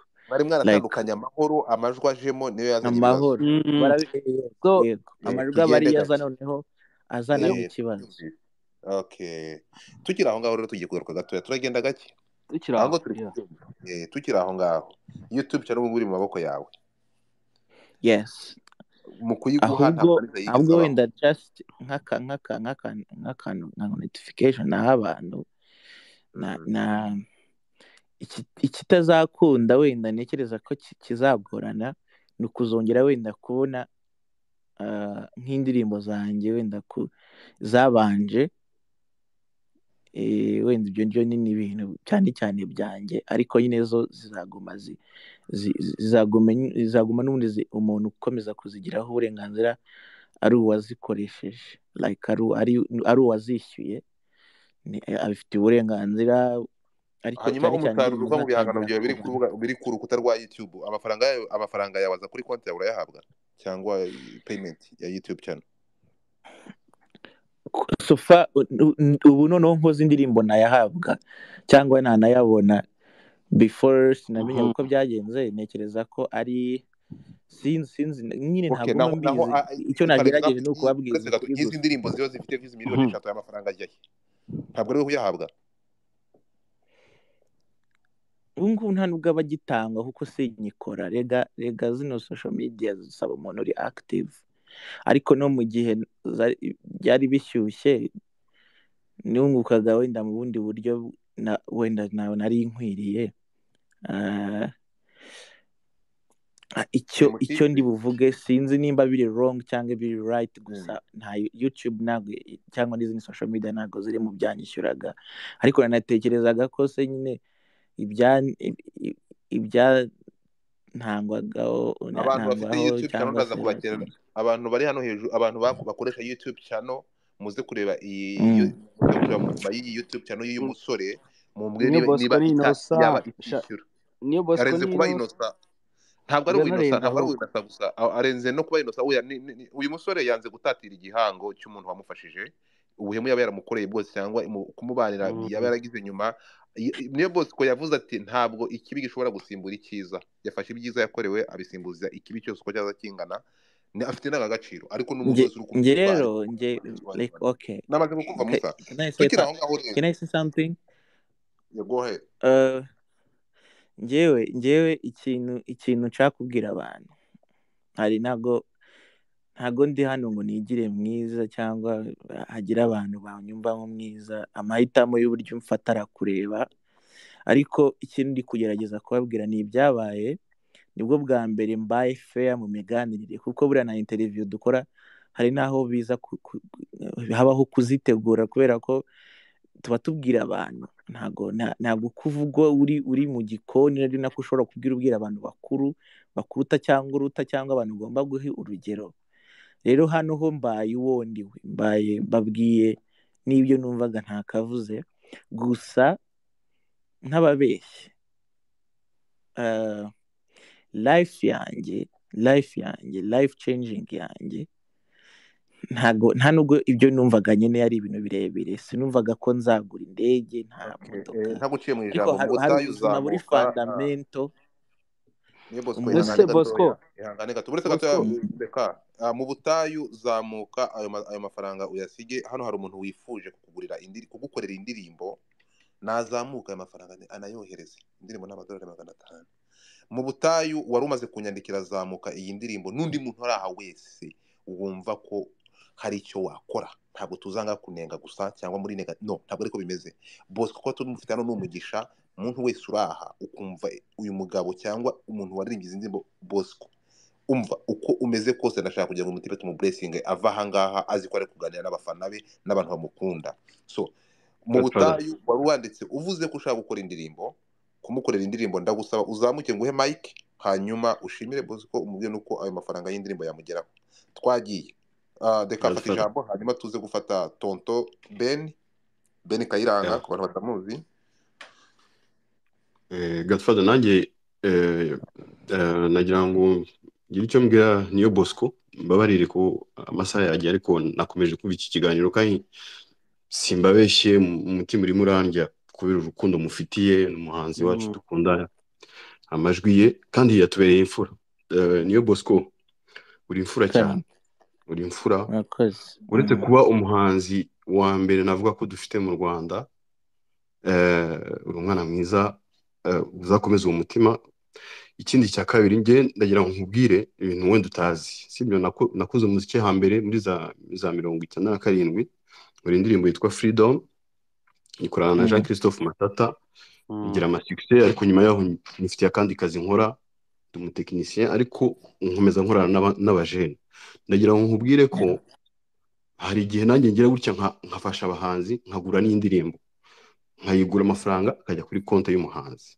Mm. hano mu burayi twebwe aho tuba indirimbo yanjye iciye kuri radiyo baranyishyura. Urumva? Mm. mu rwanda rero iyo indirimbo yanjye freedom baza kuba bara- bara- baratwishyuraga wenda tuvuge twari kuba twarubatse ama etaje ariko siko bimeze. Wowe rero ikintu ugomba kumenya ni uko wagombye kubaho mu buzima bwiza. Ubu ngubu tu- tuzi situwasiyo yawe ntabwo dushobora gusubira inyuma. Ariko njye ndashaka kukubwira ko guhera ubu ngubu abagabo ba- bakuzaniye ubuvugizi hano wenda ntabwo twari twa- twari twakamenya ibyabaye hagati yawe na Irene nta nubwo dushobora kubisubiramo ariko icya mbere ngiye kukubwira njyewe deja nda- nda- nda- ndagushimiye nkubwira ati nifuje ko mu kwezi kwa karindwi nzaza mu rwanda nzagura indirimbo yawe amafaranga y'amayero magana atanu kugira ngo dukorane indirimbo. Ni icyifuzo nari mfite sinari kuzagira amahirwe yo kukwenda kukubona ko eh, tugize chance zo kuba tugufite hano. Reka nkubwire kuri umuntu urenze. Mm. glad, ndagukunda nzagura indirimbo magana atanu nda- ndayafasha hano nyoheje wenda godfather ayagushyire kuri konti yawe. Sinzi niba management yawe ubu ngubu ukuntu imeze ariko wagombye kubaho mu buzima bwiza. Ntabwo wagombye kuba mu kababaro. Eh, ibyo ngibyo tu- tu- tu- tu- tubikwizeze neza ko Man, ndavuga ni- thank you ndavuga ni so ikiniga mana man. ndavuga ni Mm. ikiniga. Kuko nyine indirimbo zawe wanditse zose. Mm. wandikiye bariya bantu bagombye nibura guhora bazi- ba- bazi- bazishyura wenda tuvuye ngo ngiye gukabya wenda buri mwaka. Ma ni mu bwenge bwawe warazanditse. Mm. ntabwo ha- hari aba- hari abajene ngura Yuba- indirimbo nkavuga ati nkohereje magana atatu. Yubatse ngo indi brandi ah okay. Mm. reka turumva rero uyu musore tumufashe. Akomeze atu- aduhe imiziki myiza adukorere ibintu byiza nk'uko yabitweretse muri ya ndirimbo ya mbere ya- ya- yaririmbye eh, urumva ntabwo twam- twamureka ngo agende gutyo gusa tutamwijeje ko tugomba kumufasha akomeza kutubera umu- umuhanzi wacu mwiza murakoze I'm grateful. Ah, Thank you, urakoze man. cyane tukiri aho ngaho rero reka nkubwire eh, tukiri aho ngaho DC. uyu musore ngewe n'uburyo yabikozemo reka nkubwire reka reka Mm. uko byagenda kose sibyo amahitamo y'umuntu ni amahitamo y'umuntu kandi buri muntu afite ukuntu atwara ubuzima bwe n'umuntu afite ukuntu ashaka gutwara isi. Uyu mutima niyo ntabwo mpamvu ntabwo ndi mpamvu- n'ubupfura bwa bosco Ndakubwiza ukuri. ntago listen listen to me. Mm, mm, ibibazo twamubajije twabimubajije. Yivugiye yuko amafaranga agiye atangwa ayo yabonye yarayabonye yapureshetinga ibyo yahawe uko bingana. Ibindi Mm. ntabwo abyitayeho. Ntuse warenza exactly. hirya warenza warenzaho iki? Icyo tureba ni kimwe. Iri shyano ni munyakazi sha nizere ko atari wowe munyaka. Nakugurukana nizere ko atari wowe. Ntimumuhishe oya ndavuga na- ntuza hariya hasi. Okay tukiri aho ngaho ah, mbere yuko dufata disi muntu uri aha ngaha tugiye kuva mu gice cyo cy- cy- cy'ibyabaye kuri uyu musore. Mwabyumvishe mwese. Mm. muri second ka mwabyumvishe uyu musore yashatse kubitwara muri ubu buryo. Yashatse kubitwara muri ubu buryo yashatse kubaka muri ubu buryo. Ngewe ndamushimiye. Uburyo ashatse gutwaramo ibi bintu. Nda- nda- ndamushimiye abitwara uko. Ariko bosco watwaye uruhande rwawe ariko twebwe tugomba kumenya niba irengero ry'amafaranga yatanzwe yitwa ngo aragutangira ukaba utazi inkuru yayo. Turamenya irengero ryayo sase e ugomba kubimenya niko bimeze. Ikindi iby'iriya modoka iby'iriya modoka utubwiye ko wakiye ibihumbi ijana. Abantu bakoze kampani abantu bakoze kugaruka, agomba bagashishikariza abantu gutanga amafaranga. Ari amafaranga. kampani imwe. Amafaranga atagira ingano. Aya mafaranga tugomba kumenya irengero ryayo. Tukiri aho ngaho ntumenye aho yaciye. Niyo mpamvu um- niyo mpamvu the legend aje akagira agahinda akavuga ati njye ngiye kukwemera amafaranga gutya. Tuzi ibintu byatanzwe gutanga, ariko mu si izina wakwihanganye. rya niyo bosco abantu banjye ko nabazanye. Dufite kindness touch my brother. Ndaje mu kanya ndaguha ijambo. Reka dufate crema hanyuma turafata chantal nyuma ya kindness touch.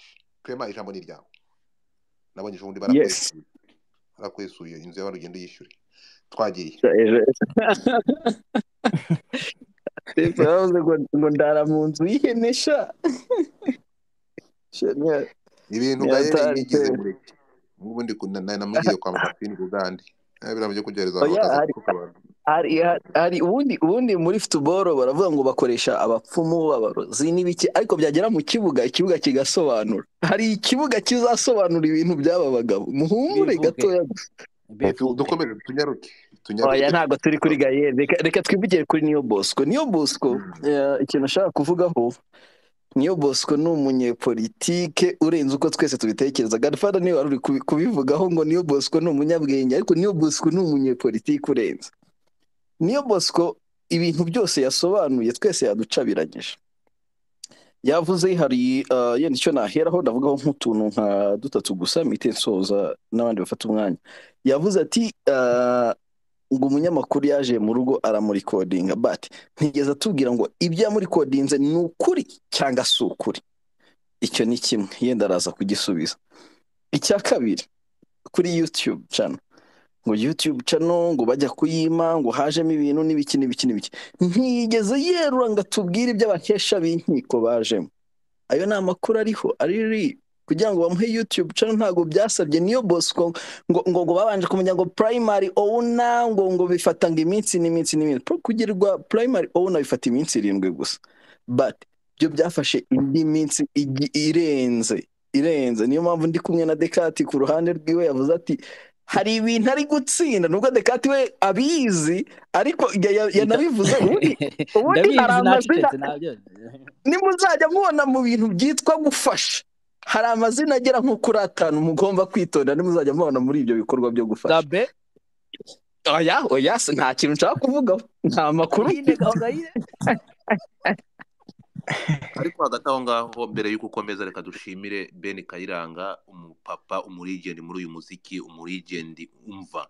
Ugize gutya. Ibaze ariko kubona Luigi wakoze ntabwo nabone na mbere yuko disi bro akomeza agahakura ibitekerezo ko Kayiranga agiye kubimburira amadolari magana atanu mu- mu- mu- Ayashyira- umunota umwe mvuge kuri Ben Kayiranga. Ariko ntabwo Mm. wa- wakwihanganye tukaza kubigaruka mu kanya arangije ijambo. Reka Kayiranga- nsoze reka nsoze noneho uhita ubivuga none ngiye gusoza. Kayiranga Yeah. ni we muntu wa mbere wambwiye ati big up maniga. Nkigera hano 2017 mu kwezi kwa mbere. Reka twumve ntuzarangize turagaruka kuri Ben Kayiranga. Ni byinshi umuntu yamuvugaho. Njye namwandikaho n'igitabo komeza DC mena umuceri bivuge bivuge Mm. Bosco yabaye imfura kandi niyo Bosco tugomba kumubera ijwi twe ntabwo turi imfura niyo Bosco.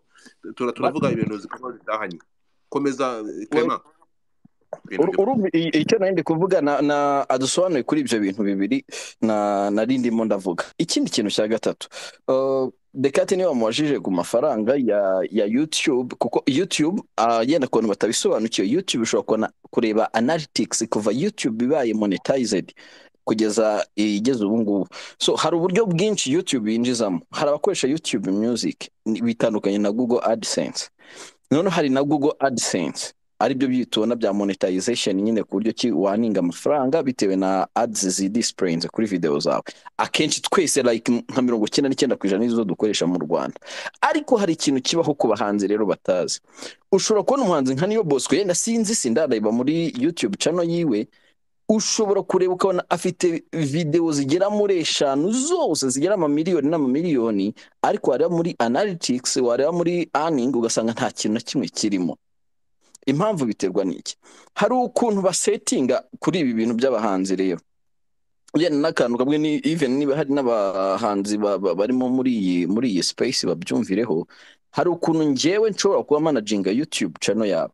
Narangiza nkabisetinga ku cyitwa bigiye bitandukanye. Ku bahanzi bakoresha ibintu byinshi hari za cd baby na yo ni ayandi website, web, website atandukanye na youtube. Hari cd baby hari tunekowa tunekowa niyo abanyarwanda benshi bakoresha ariko mba ariyo mvugaho. Tunekowa ukuntu ikora ikonekita indirimbo yawe kuko ari abahanzi benshi akenshi bayikoresha ikazihuza na ziriya platform zindi zisa- zisanzwe. Yaba spotify zaba diza yaba ziriya zose nyine muzi zicururizwaho imiziki exactly. None ikabihuza na youtube. Noneho yo tune kuba ukuntu aba managers ariyo bariramo abahanzi niba muzi ikintu kigeze kuzaho cyitwa ah, hari icyitwa mudundo cyajeho muri east africa n'ikindi kindi kintu ba kamiliyoni bajya bakita ngo iki sinibuka bayita bayita na buravan igeze ku- ku- kujyana na y'indirimbo M1 yigeze kuya hana Buravan yigeze kugikoresha bakita ndakubwira. reka njye kubishaka ndaje kirimo aba- kirimo abahanzi benshi bo muri East. Africa. Bro nanze kubivuga ntiteranya n'abantu ariko twiturize. Witwa bajama TuneCore cyitwa apana Tuneko ah ah hari ibindi hari ndaje. Hari hari hari mudundo hari ikindi cyitwa ngo ki hari ki muziki hari na displaying no ku na y'indirimbo z'abahanzi. Muziki yo muri South Africa. Uretse ndaje mubwire. Iyo bita ngoma bayita ngoma. Ngoma. Exactly ngoma. Aha. Noneho bariya bajamukuru babigenza barakubwira ngo twe tugiye gucuruza umuziki wawe and then tuguhe income yavuyemo. Ukuntu babigenza rero. Baragenda bagakoresha amatuneko tuneko ikolekitinga amafaranga yose yaje kuri platforms zose. Iyo uyishyize kuri youtube bahita bakubwira ko ifite copyright. Copyright iba yawuninzwe na tunekowa noneho nka niyo bosco sinzi kesi yiwe nta nubwo sindareba muri cano yiwe. Ariko nyine ni urugero turi gufatira kuko ari we turi kumwe hano muri space.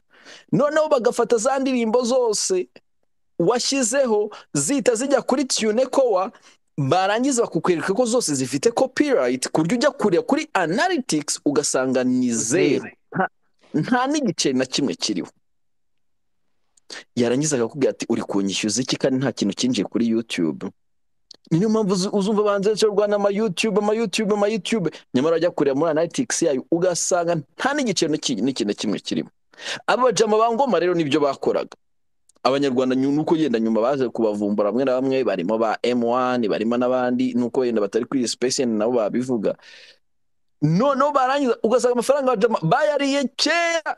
Nibyo niyo bosco yababwiye ngo analytics indirimbo bro indirimbo zirinjiza kugeza upfa kuko indirimbo uraza ukayumva uyu munsi n'ejo ukayumva n'ejo ukayumva. Ahubwo nka niyo bosco ashobora kuba utabona analytics according kuri kuri izo facts zose zose zose ngiye nkubwira.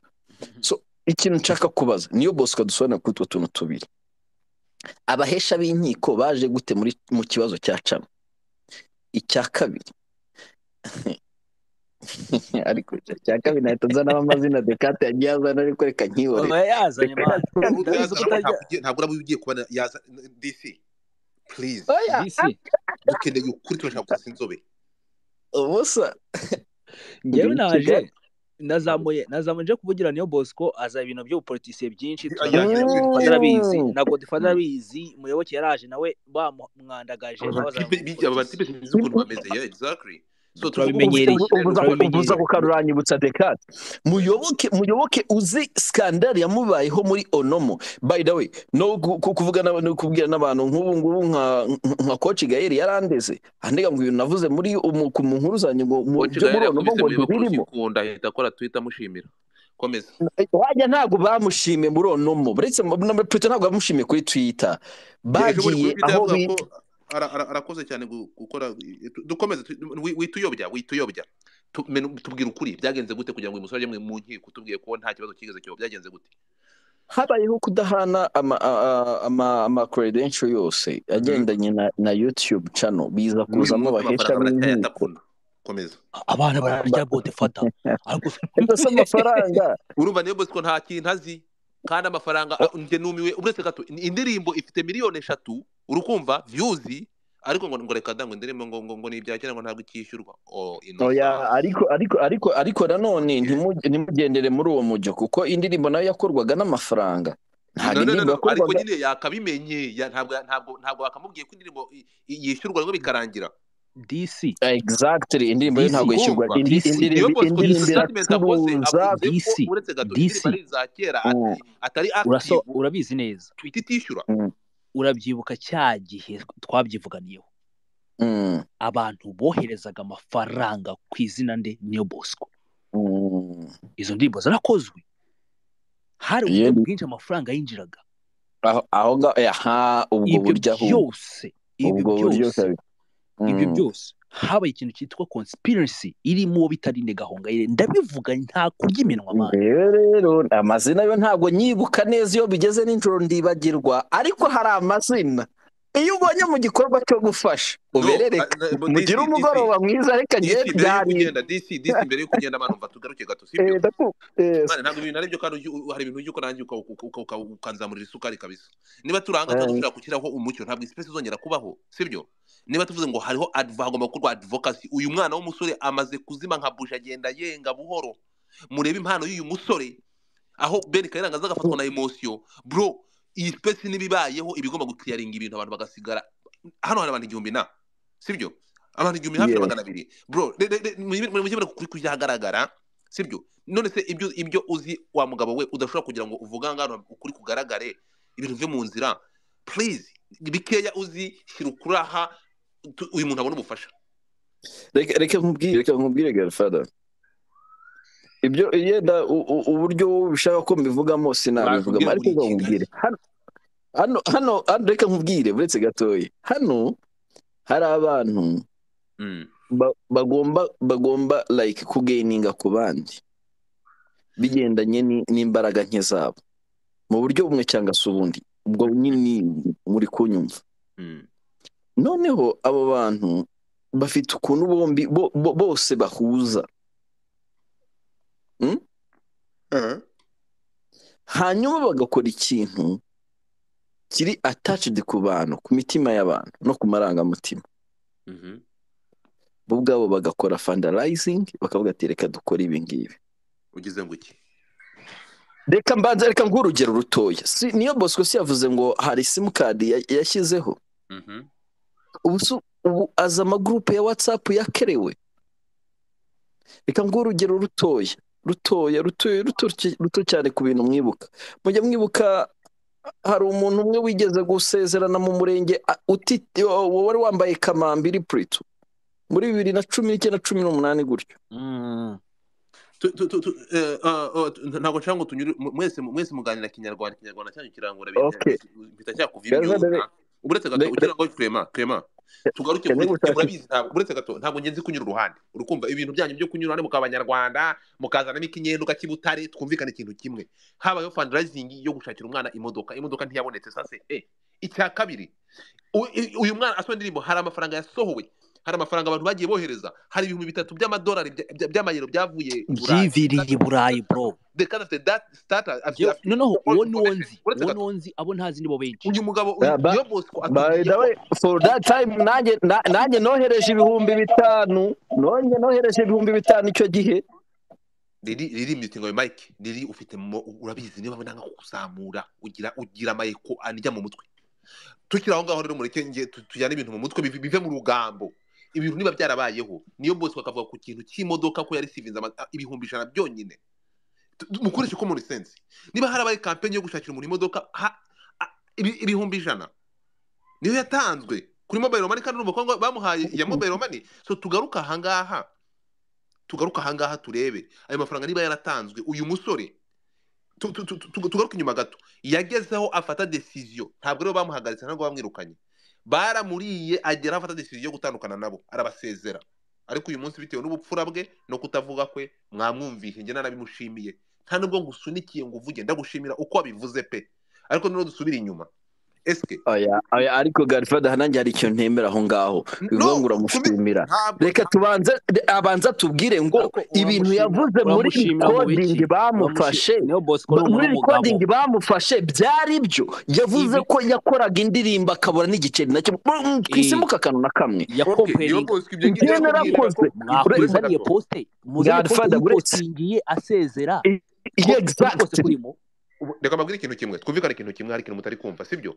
Nani nani Clement na Descartes sibyo? Ni Mm. uburenganzira bw'umuntu urumva kuvuga ngo let it go. C'est e natubwire ati yenda ibya mbere navuze naribeshye uretse gato uretse gato ikindi cya kabiri ni uburenganzira bw'umuntu gufata ibibi akabisimbuza ibyiza. Ni uburenganzira bwe biterwa n'umuntu gusobanure gato ku bya mbere nyine. Ibya mbere twumvikane gato icya mbere yabivuze ariko se umuntu yavuze ngo natandukanye nawe kuko ibikorwa byanjye ntabwo nabonaga umusaruro wabyo. Nta kindi avuga kirenze icyo. So niba rero yarenzeho akavuga ati ikindi reka ubupfura. Uyu mugabo yavuganye ubuhanga reka nze nkubwize ukuri ntabwo ndi umuheza nguni uyu mugabo yavuganye ubuhanga n'ubwenge bwinshi urimo kunyumva akora statement atangira. Aravuga ati ngiye uyu mureba hano nakozwe n'umuntu bita irene. Abandi bari bararebye bantambukaho ndi nka zahabu iri mu cyondo ntawaje kumvanamo ngo nkarabye. Ntabwo ndi burenge kuri uretse gato ntabwo ndi burenge kuri ibyo bikorwa yakoze. Twumvikane. Ndi kureba statement umuntu yakoze. Ntabwo ngiye nibuze kurimiraho umuntu itaka nyir'ubwite yamuryamye ari nyiri guhemukirwa. Niba nyiri guhemukirwa yaryamye ku wamuhemukiye so wagira ngo ngewe ndenze aho ngaho mfate niyo mpamvu turi space nyine turi space hanyuma kuki ibya mbere tukirengagiza tugende gake. Uretse gato hagize umuntu uzamuka akatubwira uretse gato katugende gake. Niyo mbese bosco space? arahari nga uretse space gato tuyisoze uretse gato niyo bosco Godfather. arahari wamugana niyo bosco arahari ngo uyu ari hano. Niba we nyiri victime aje bro ntabwo ntabwo ndibuze hano ngo bosco muvuge mucurike amagambo mu kanwa ngo vuga ibi aravuga ati njye navuganye n'uriya munyamakuru mubwira agahinda kanjye k'ibyambayeho ariko ko Ah, gato amubwira agahinda ke. naza tubwiye ko ako gahinda yabeshyaga ntabwo noneho. mudutwara nk'amarobo. Aravuga ngo ariko sinifuzaga ko public ibyumva. Exactly. Noneho uretse gato Mhm. uretse gato. Niba umuntu avuze gutyo sibyo? Ntabwo niba bosco ashobora kurekonesa ndamwumva. We aya masaha ndashaka gufata bosco nk'imfura ndashaka gufata bosco nk'imfura ubupfura bwa bosco ntabwo ndibuze kubushyiraho icyondo. Tugerageze kubyumvikana. Ahubwo twebwe nka public tubashije kumva uko kuri. Sibyo? Turabanza dushimire niyo bosco wabaye imfura. Akemera kwikorera ku gahinda n'ibyo yakorewe byose akagumana ubupfura akarekonesa bikeya umuntu yamukoreye n'ubwo nyuma yaje gukora biriya twabonye ariko nyir'ubwite atashatse kugira ngo amushyire hanze cyangwa bigaragare. Tumaze dushimire niyo bosco kuri iyo kerezi kandi tuyimuhe. Turamushimiye turamushimiye ka reka dukomeze dukomeze rero. Niyo bosco uri kunyumva yes yes. Ibintu wabwiye uriya munyamakuru byari byo adashaka ntibyari hanze. Byari byo ntibyari byo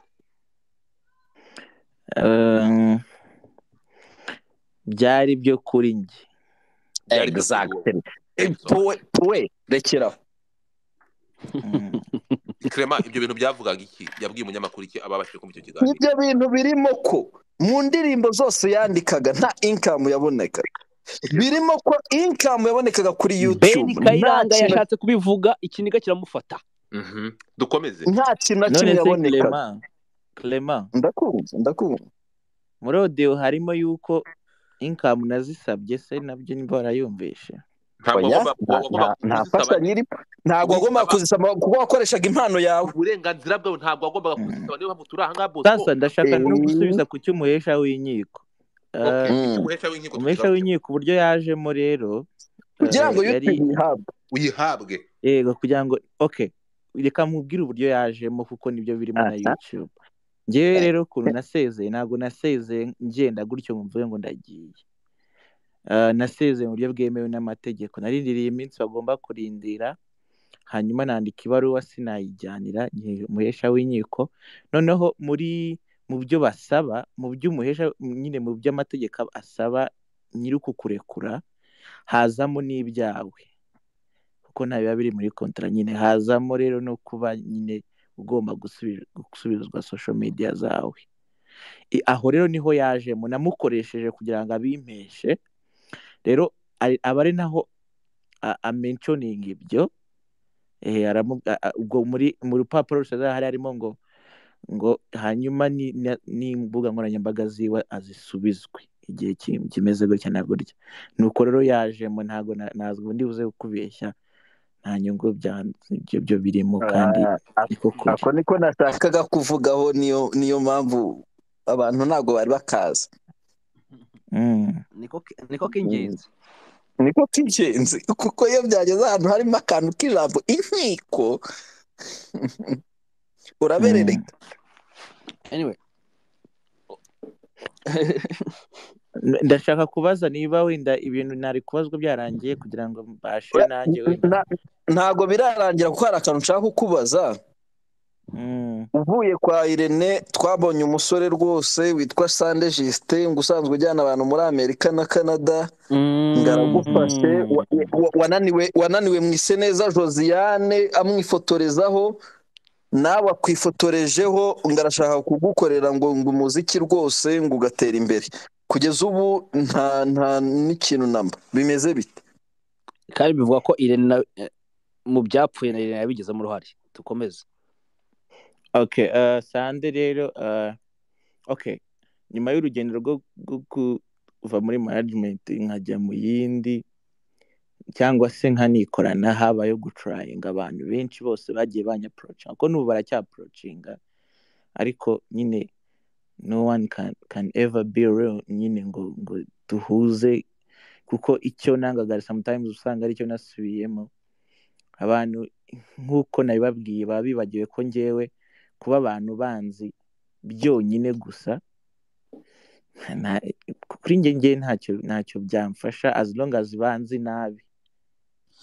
Ndumva eh, ndumva niyo rero twakora nonaha ari ukumuremera cyangwa tukamu- tukamuremera icyo na tugasigara icyo dufite icyo bose ukuntu eh, okay reka reka nsubize Clement n'ubundi nanjye ndi mu ndi buze kuguma nyine wenda ndiho.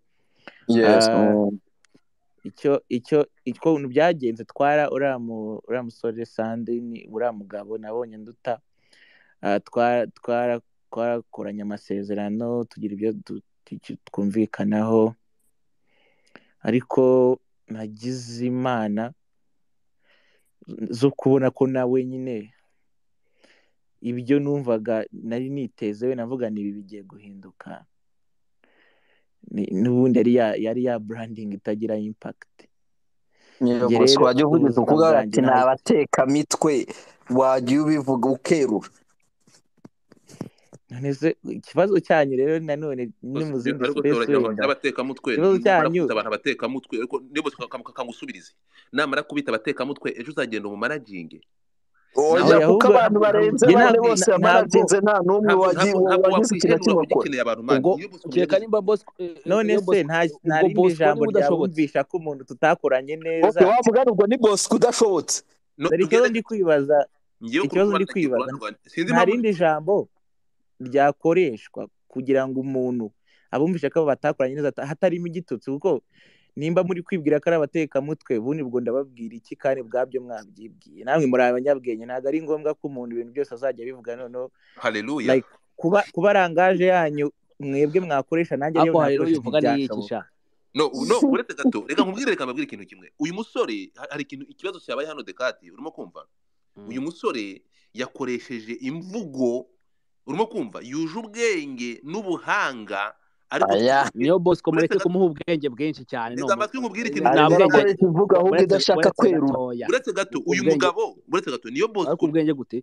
Reka ubu mbabwire kumva deka ubwo muyoboke nawe ni umunyabwenge noneho. Uretse gato uyu Eh, ashatse kuko yanze kuvuga ibyo muri uno disi disi disi disi uyu musore niba we yaje agashaka uburyo avugamo mugerageze okay kumwumva. Yanze kuvuga ibyamubayeho ariko reka avuga ngo ni umunyabwenge. Kuba yanze azi kubivuga turabizi. Kuba uretse azi gato ubwenge turabizi. we uretse know gato we- turabizi. Rero ariko kuba yanze kuvuga mu magambo dushaka ko avugamo tugerageze kumwumva ariko arakubwira. si nyine reka kuvuga ngo ni umunyabwenge.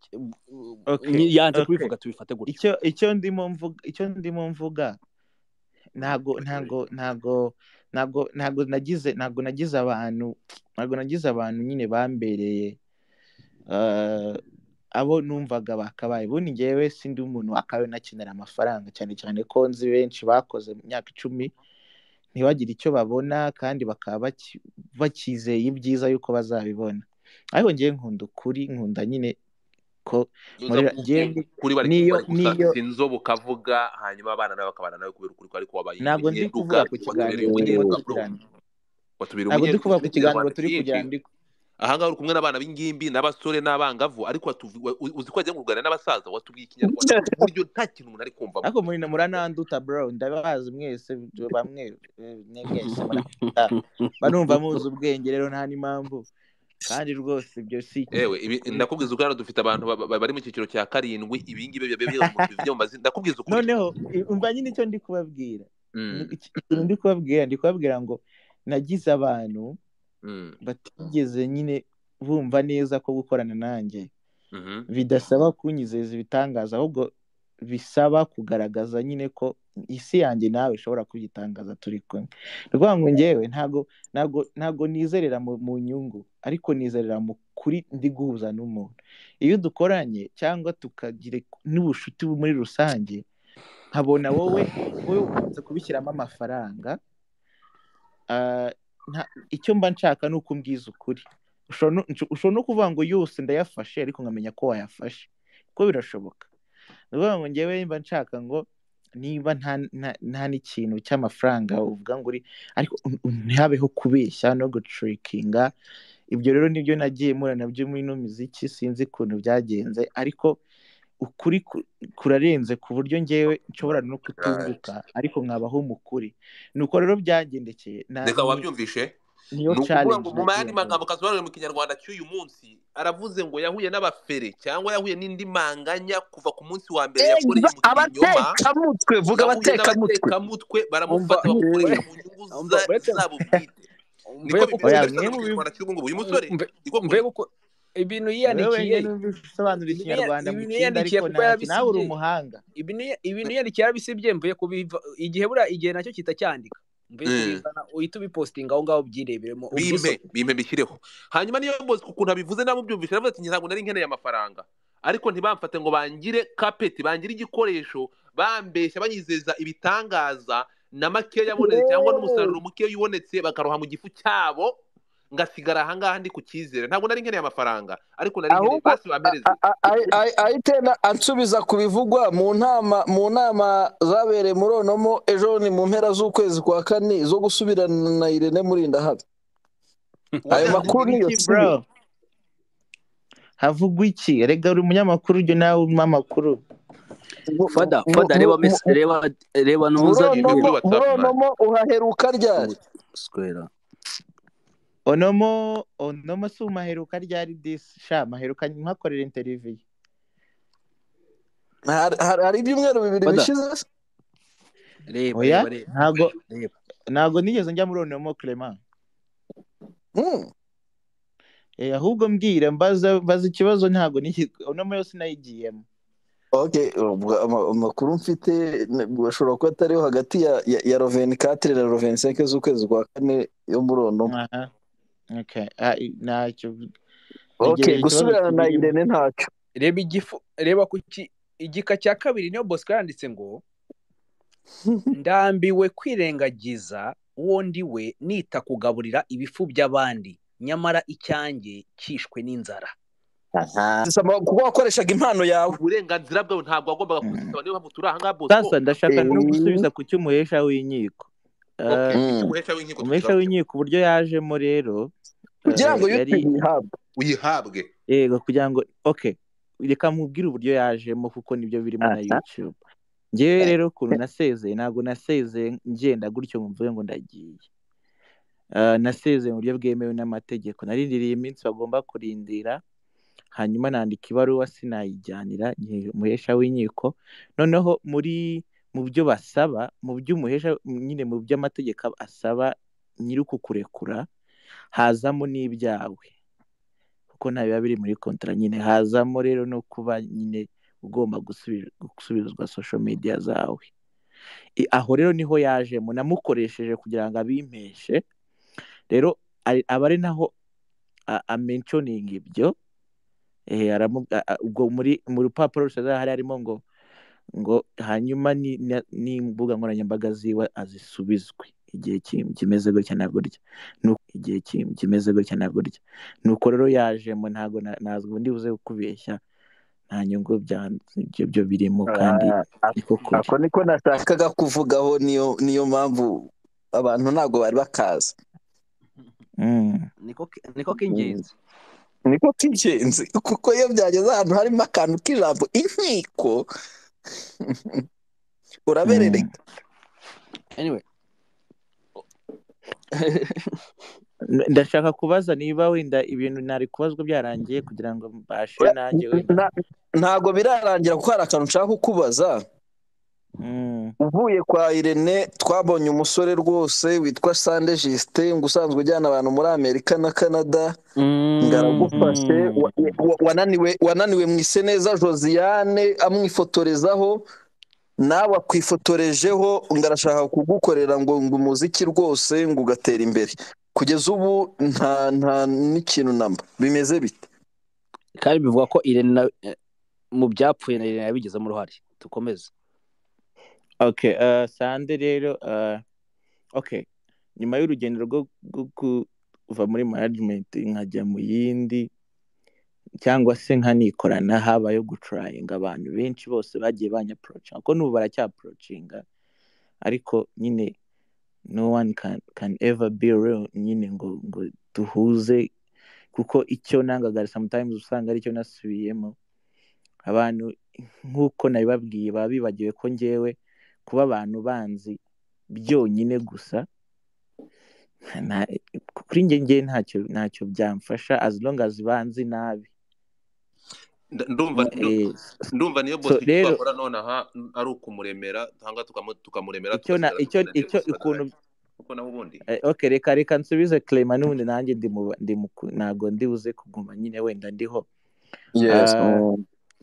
Icyo icyo ukuntu byagenze twara uriya mu- uriya musore sandi ni uriya mugabo nabonye nduta ah, twa- twara twarakoranye amasezerano tugira ibyo twumvikanaho. Ariko nagize imana zo kubona ko nawe nyine ibyo numvaga nari niteze we navuga ibi bigiye guhinduka. N'ubundi yari ya yari ya branding itagira bosco rero wajya ukuvuga bwanjye ati ni abatekamitwe wajya ubivuga ukerura. Ikibazo cyanyu rero nanone ni Bosco, mu zindi ariko space turagira ngo wenda. n'abatekamutwe ikibazo cyanyu abantu abatekamutwe ariko niyo bosco kakangusubirize namara kubita abatekamutwe ejo uzagenda mu kuko abantu barenze bane bose yamanaginze nta n'umwe wagize ikintu mani ubwo mugeze nimba bosco eh, eh, none se nta rindi jambo ryabumvisha ko umuntu tutakoranye neza. Wa mugani ubwo ni bosco udashobotse. Ikibazo ndi kwibaza ikibazo ndi kwibaza nta rindi jambo ryakoreshwa kugira ngo umuntu abumvishe ko batakoranye neza ata- hatarimo igitutsi kuko nimba muri kwibwira ko ari abatekamutwe ubundi ubwo ndababwira iki kandi bwabyo mwabyibwiye namwe muri abanyabwenge ntabwo ari ngombwa ko umuntu ibintu byose azajya abivuga noneho. Kuba kuba rangaje yanyu mwebwe mwakoresha nanjye ariyo ariko haleluya nakoresha uvuga ni iki ntibyashoboka sha? No no uretse gato reka nkubwire reka mbabwire ikintu kimwe. Uyu musore ha- hari ikintu ikibazo cyabaye hano dekati urimo kumva? Uyu Mm. musore yakoresheje imvugo urimo kumva? Yuje ubwenge n'ubuhanga ariko niyo bosco mureke kumuha ubwenge bwinshi cyane reka no amatwi nkubwire ikintu nta bwenge. Imvugo ahubwo idashaka kwerura. uretse gato uyu mugabo uretse gato niyo ariko bosco ubwenge gute? Reka U- mbabwire ariko umva deka ubwo muyoboke nawe ni umunyabwenge noneho. Uretse gato uyu Eh, mutipe wa yashakaga kuko yanze kuvuga ibyo nari muronoma disi disi disi uyu musore niba we yaje agashaka uburyo avugamo mugerageze kumwumva. Yanze kuvuga ibyamubayeho ariko reka avuga ngo ni umunyabwenge. Kuba yanze kubivuga turabizi. Kuba azi ubwenge turabizi turabizi rero ariko kuba nyine yanze kuvuga mu magambo dushaka ko avugamo tugerageze kumwumva ariko si nyine reka kuvuga ngo ni umunyabwenge yanze kubivuga tubifate gutyo icyo icyo ndimo mvuga icyo ndimo mvuga ntago ntago ntago ntago ntago nagize ntago nagize abantu ntago nagize abantu nyine bambereye.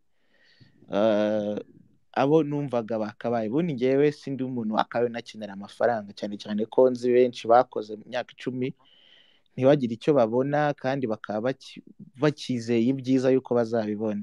Ariko ngewe nkunda ukuri nkunda nyine ko inzobe ukavuga hanyuma abana nawe bakabana nawe kubera ukuri ariko wabaye ntabwo ndi kuvuga ku kiganiro ntabwo ndi kuvuga ku kiganiro turi kugira ahangaha uri kumwe n'abana b'ingimbi n'abasore n'abangavu ariko uzi ko wagiye kuganira n'abasaza watubwiye ikinyarwanda. Ku buryo nta kintu umuntu ari kumvamo ariko muri murananduta bro ndabazi mwese bamwe eh, mwe mwese muranduta banumva muzi ubwenge rero nta n'impamvu. Kandi rwose ibyo si ewe ibi ndakubwiza ukuri hano dufite abantu ba- ba- bari mu cyiciro cya karindwi ibingibi byo mu mazina ndakubwiza ukuri. Noneho umva nyine icyo ndi kubabwira Mm, Iki- ikintu ndi kubabwira ndi kubabwira ngo nagize abantu batigeze nyine bumva neza ko gukorana nanjye. Mhm. bidasaba kunyizeza ibitangaza ahubwo bisaba kugaragaza nyine ko isi yanjye nawe ishobora kuyitangaza turi kumwe. Ngo ngewe ntago ntago ntago nizerera mu, nyungu ariko nizerera mu kuri ndi guhuza n'umuntu. Iyo dukoranye cyangwa tukagira n'ubucuti muri rusange nkabona wowe wowe ukunze kubishyiramo amafaranga ah, icyo mba nshaka ni uko umbwiza ukuri. Ushobora no kuvuga ngo yose ndayafashe ariko nkamenya ko wayafashe. Kuko birashoboka. Ni ukuvuga ngo ngewe mba nshaka ngo niba nta n'ikintu cy'amafaranga uvuga ngo uri ariko ntihabeho kubeshya no gucurikinga ibyo rero ni byo nagiye mpura na byo muri ino miziki sinzi ukuntu byagenze ariko ukuri ku- kurarenze ku buryo ngewe nshobora no kutunguka ariko nkabaho mu kuri nuko rero byagendekeye reka ni- wabyumvishe. niyo ni ukuvuga challenge ngo mu yandi magambo kasobanuriwe mu kinyarwanda cy'uyu munsi aravuze ngo yahuye n'abafere cyangwa yahuye n'indi manganya kuva ku munsi wa mbere yakoreye mu kinyoma abatekamutwe vuga abatekamutwe. baramufata bamukoresha mu nyungu zabo bwite. Niko mwe mu kinyarwanda cy'ubu ngubu. Uyu musore niko ibintu numvise usobanura ikinyarwanda mu kindi ariko nawe uri umuhanga. Ibintu yi- ibintu yiyandikiye yarabisibye mvuye kubiva igihe buriya igihe na cyo kitacyandika. Mvuye Mm. kubizana uhita ubipostinga aho ngaho byireberemo bimpe bimpe mbishyireho. Hanyuma niyo mbozi ukuntu abivuze namubyumvishe aravuga ati ntabwo nari nkeneye amafaranga. Ariko ntibamfate ngo bangire kapeti bangire igikoresho bambeshya banyizeza ibitangaza na makeya abonetse cyangwa n'umusaruro mukeya ubonetse bakaroha mu gifu cyabo. Ngasigara ahangaha ndi ku cyizere. Ntabwo nari nkeneye amafaranga ariko nari nkeneye basi bamereze. a- a- a- a- ahite na- ansubiza ku bivugwa mu nama mu nama zabereye muri onomo ejo ni mu mpera z'ukwezi kwa kane zo gusubirana na irene murindahabi ayo Oya, makuru niyo bro? Havugwa iki? Erega uri umunyamakuru ujya nawe urimo amakuru.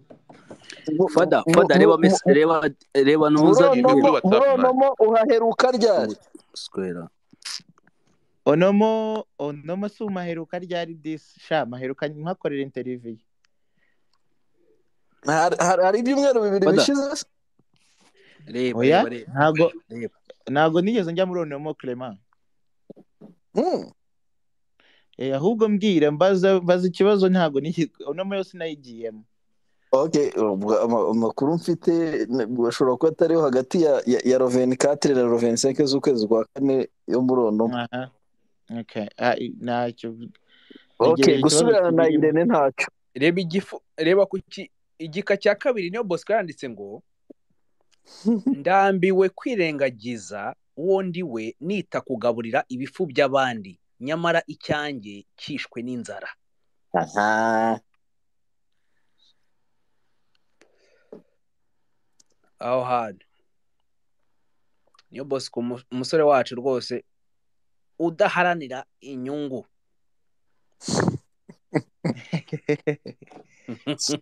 Niyo bosco singusekeje urabizi ko nkukunda ni nanjye wisobe ngo difata ngino space tuyikore yari yandikiye ngo iyi kintu cy'igifu. None se none se dekati we wowe ubihuza gute se n'ibi ngibi? Kuki utakumva ko noneho hari indi situwasiyo navugaga ko nta muntu reka kandi ko niyo reka nkubwire n'umunyamakuru reka nkubwire bosco bosco. Sibyo ntabwo Mm. turi imburamukoro bro. Ntabwo twaje ahangaha ntabwo turi abanyamakuru ntabwo nubwo turi gushaka views. Bosco wibuke ko turi abantu bakuze yamani ubwenge reka nkwibutse ikintu kimwe. Ntabwo ahangaha nta nyungu tugufitemo ntabwo iyi ngiyi ari youtube channel ntabwo turi radio ntituri abanyamakuru turi ahangaha kubera wowe. Reka kudukaraba ntabwo ntabwo turi muri brag man niba hano abantu barababaye hano hasi abantu baba- bababaye keretse ibyo message abantu bari kwandika. Turi know ahangaha I kugira know. ntabwo turi tu- tu- turi gukina man Godfather being rude being rude ntabwo biri buze yabiciye amazi being rude. Man yabikiye amazi uretse tugende gake. Niba turi ahangaha rero tu- turi ahangaha tu- nta- ntabwo dufite ibindi twakabaye dukora. So ntabwo ntabwo tubwiye ngo tugutsindagiremo ibintu. Ariko niba turi kureba ibyo wanditse biri aha ukaza ukatubwira ngo n'undi wavugaga reka tubigenze gutya. Ntabwo tukubwiye ngo tuguteranye n'umuntu ntabwo dushaka guteranya n'umuntu. Gute se? Tu- uri umwana se?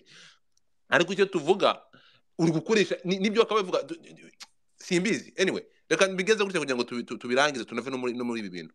Bantu muri aha umuntu turi kumwe ni bosco ku bantu batazi niyo bosco ndashaka gufata umunota umwe kugira ngo ibintu tubimekinge clear. Niba hari mu by'ukuri uburyo bushoboka bosco kugira ngo ari gutegura album ushobora kumuhe ushobora kumubera umugisha ushobora kugira ikintu ushyira kuri iyo album ye niyo bosco mwamenye n'uyu turongera turashaka kumva indirimbo nk'izi mu mpeho umunota umwe. Hanyuma noneho umuntu uri hano muri audience ndashaka kugira natubwire momo yiwe natubwire momo yiwe abantu bagira reka ndaje mu kanya mbigereho. Turaje none mu kanya abantu kugira ngo bazamuke na buri wese. Niyo bosco wabaye umunyenduga wa cyane wakoresheje ikinyarwanda nk'icya nk'icya rutanga rw'amaboko uyu munsi turagira ngo okay ni uburenganzira bwe. Ariko turagira ngo nonaha murebe iyo murebe iyo tweet nkoze nonaha. Murebe ngiyo nyishyize kuri dashboard. Ibi ni iby'igihe cyanditse ibi ni nyir'ubwite wabyivugiye. Yatubwiye ko ibyo abwira abanyamakuru ari ukuri. Ariko ahangaha yanze ngo bimve mu kanwa kuko kundi yavuze ngo ntabwo ashaka kugira ngo bijye on public ni uburenganzira bwe. Ariko noneho twe nkatwe nk'abafana dufite uburenganzira bwo kureberera inyungu zo dufana. Turanga kugira ngo dusubire uyu musore yongere azamuke asubire kuri mapu kuba aya masaha avuga ko wongeye kumanuka uta- utameze nk'uko wari umeze mbere ni uko hari ikibura. Twumvikane ikintu kimwe rero. Ikiriho ni uko dukeneye gu- gu- gukora advocacy uko kuri kukamenyekana so hagati aha rero abantu turi kumwe mureke uyu musore tumaze tumubere umugisha first of all. Amenye abantu ari kumwe nabo tumubere umugisha muri iyi album ari gutegura bitamworoheye ariko uzi kwandikira abantu bareba utareba bakanga kwishyura amafaranga yo kwandika izo ndirimbo. Muri n'inyamaswa barangiza akaza ahangaha umutipe akagera n'aho avuga ko ibaze ariko gusonza ibyo reka twemere ko ibyo uhanga byo bidafite umusaruro n'ibyo uririmba. Ariko wandika indirimbo abahanzi bano birirwa baranga indirimbo zirenga makumyabiri. Ugire naho ubura miti ubu- ubura amafaranga yo kujya muri studio. Come on. So ben kayiranga wa- watubanjije ugatanga amadolari magana atanu yo gufasha uyu muvandimwe turifuza kumva indi ndirimbo muri studio ya bosco igira itya iti mwumve mu mpera z'amasegonda make. Thank.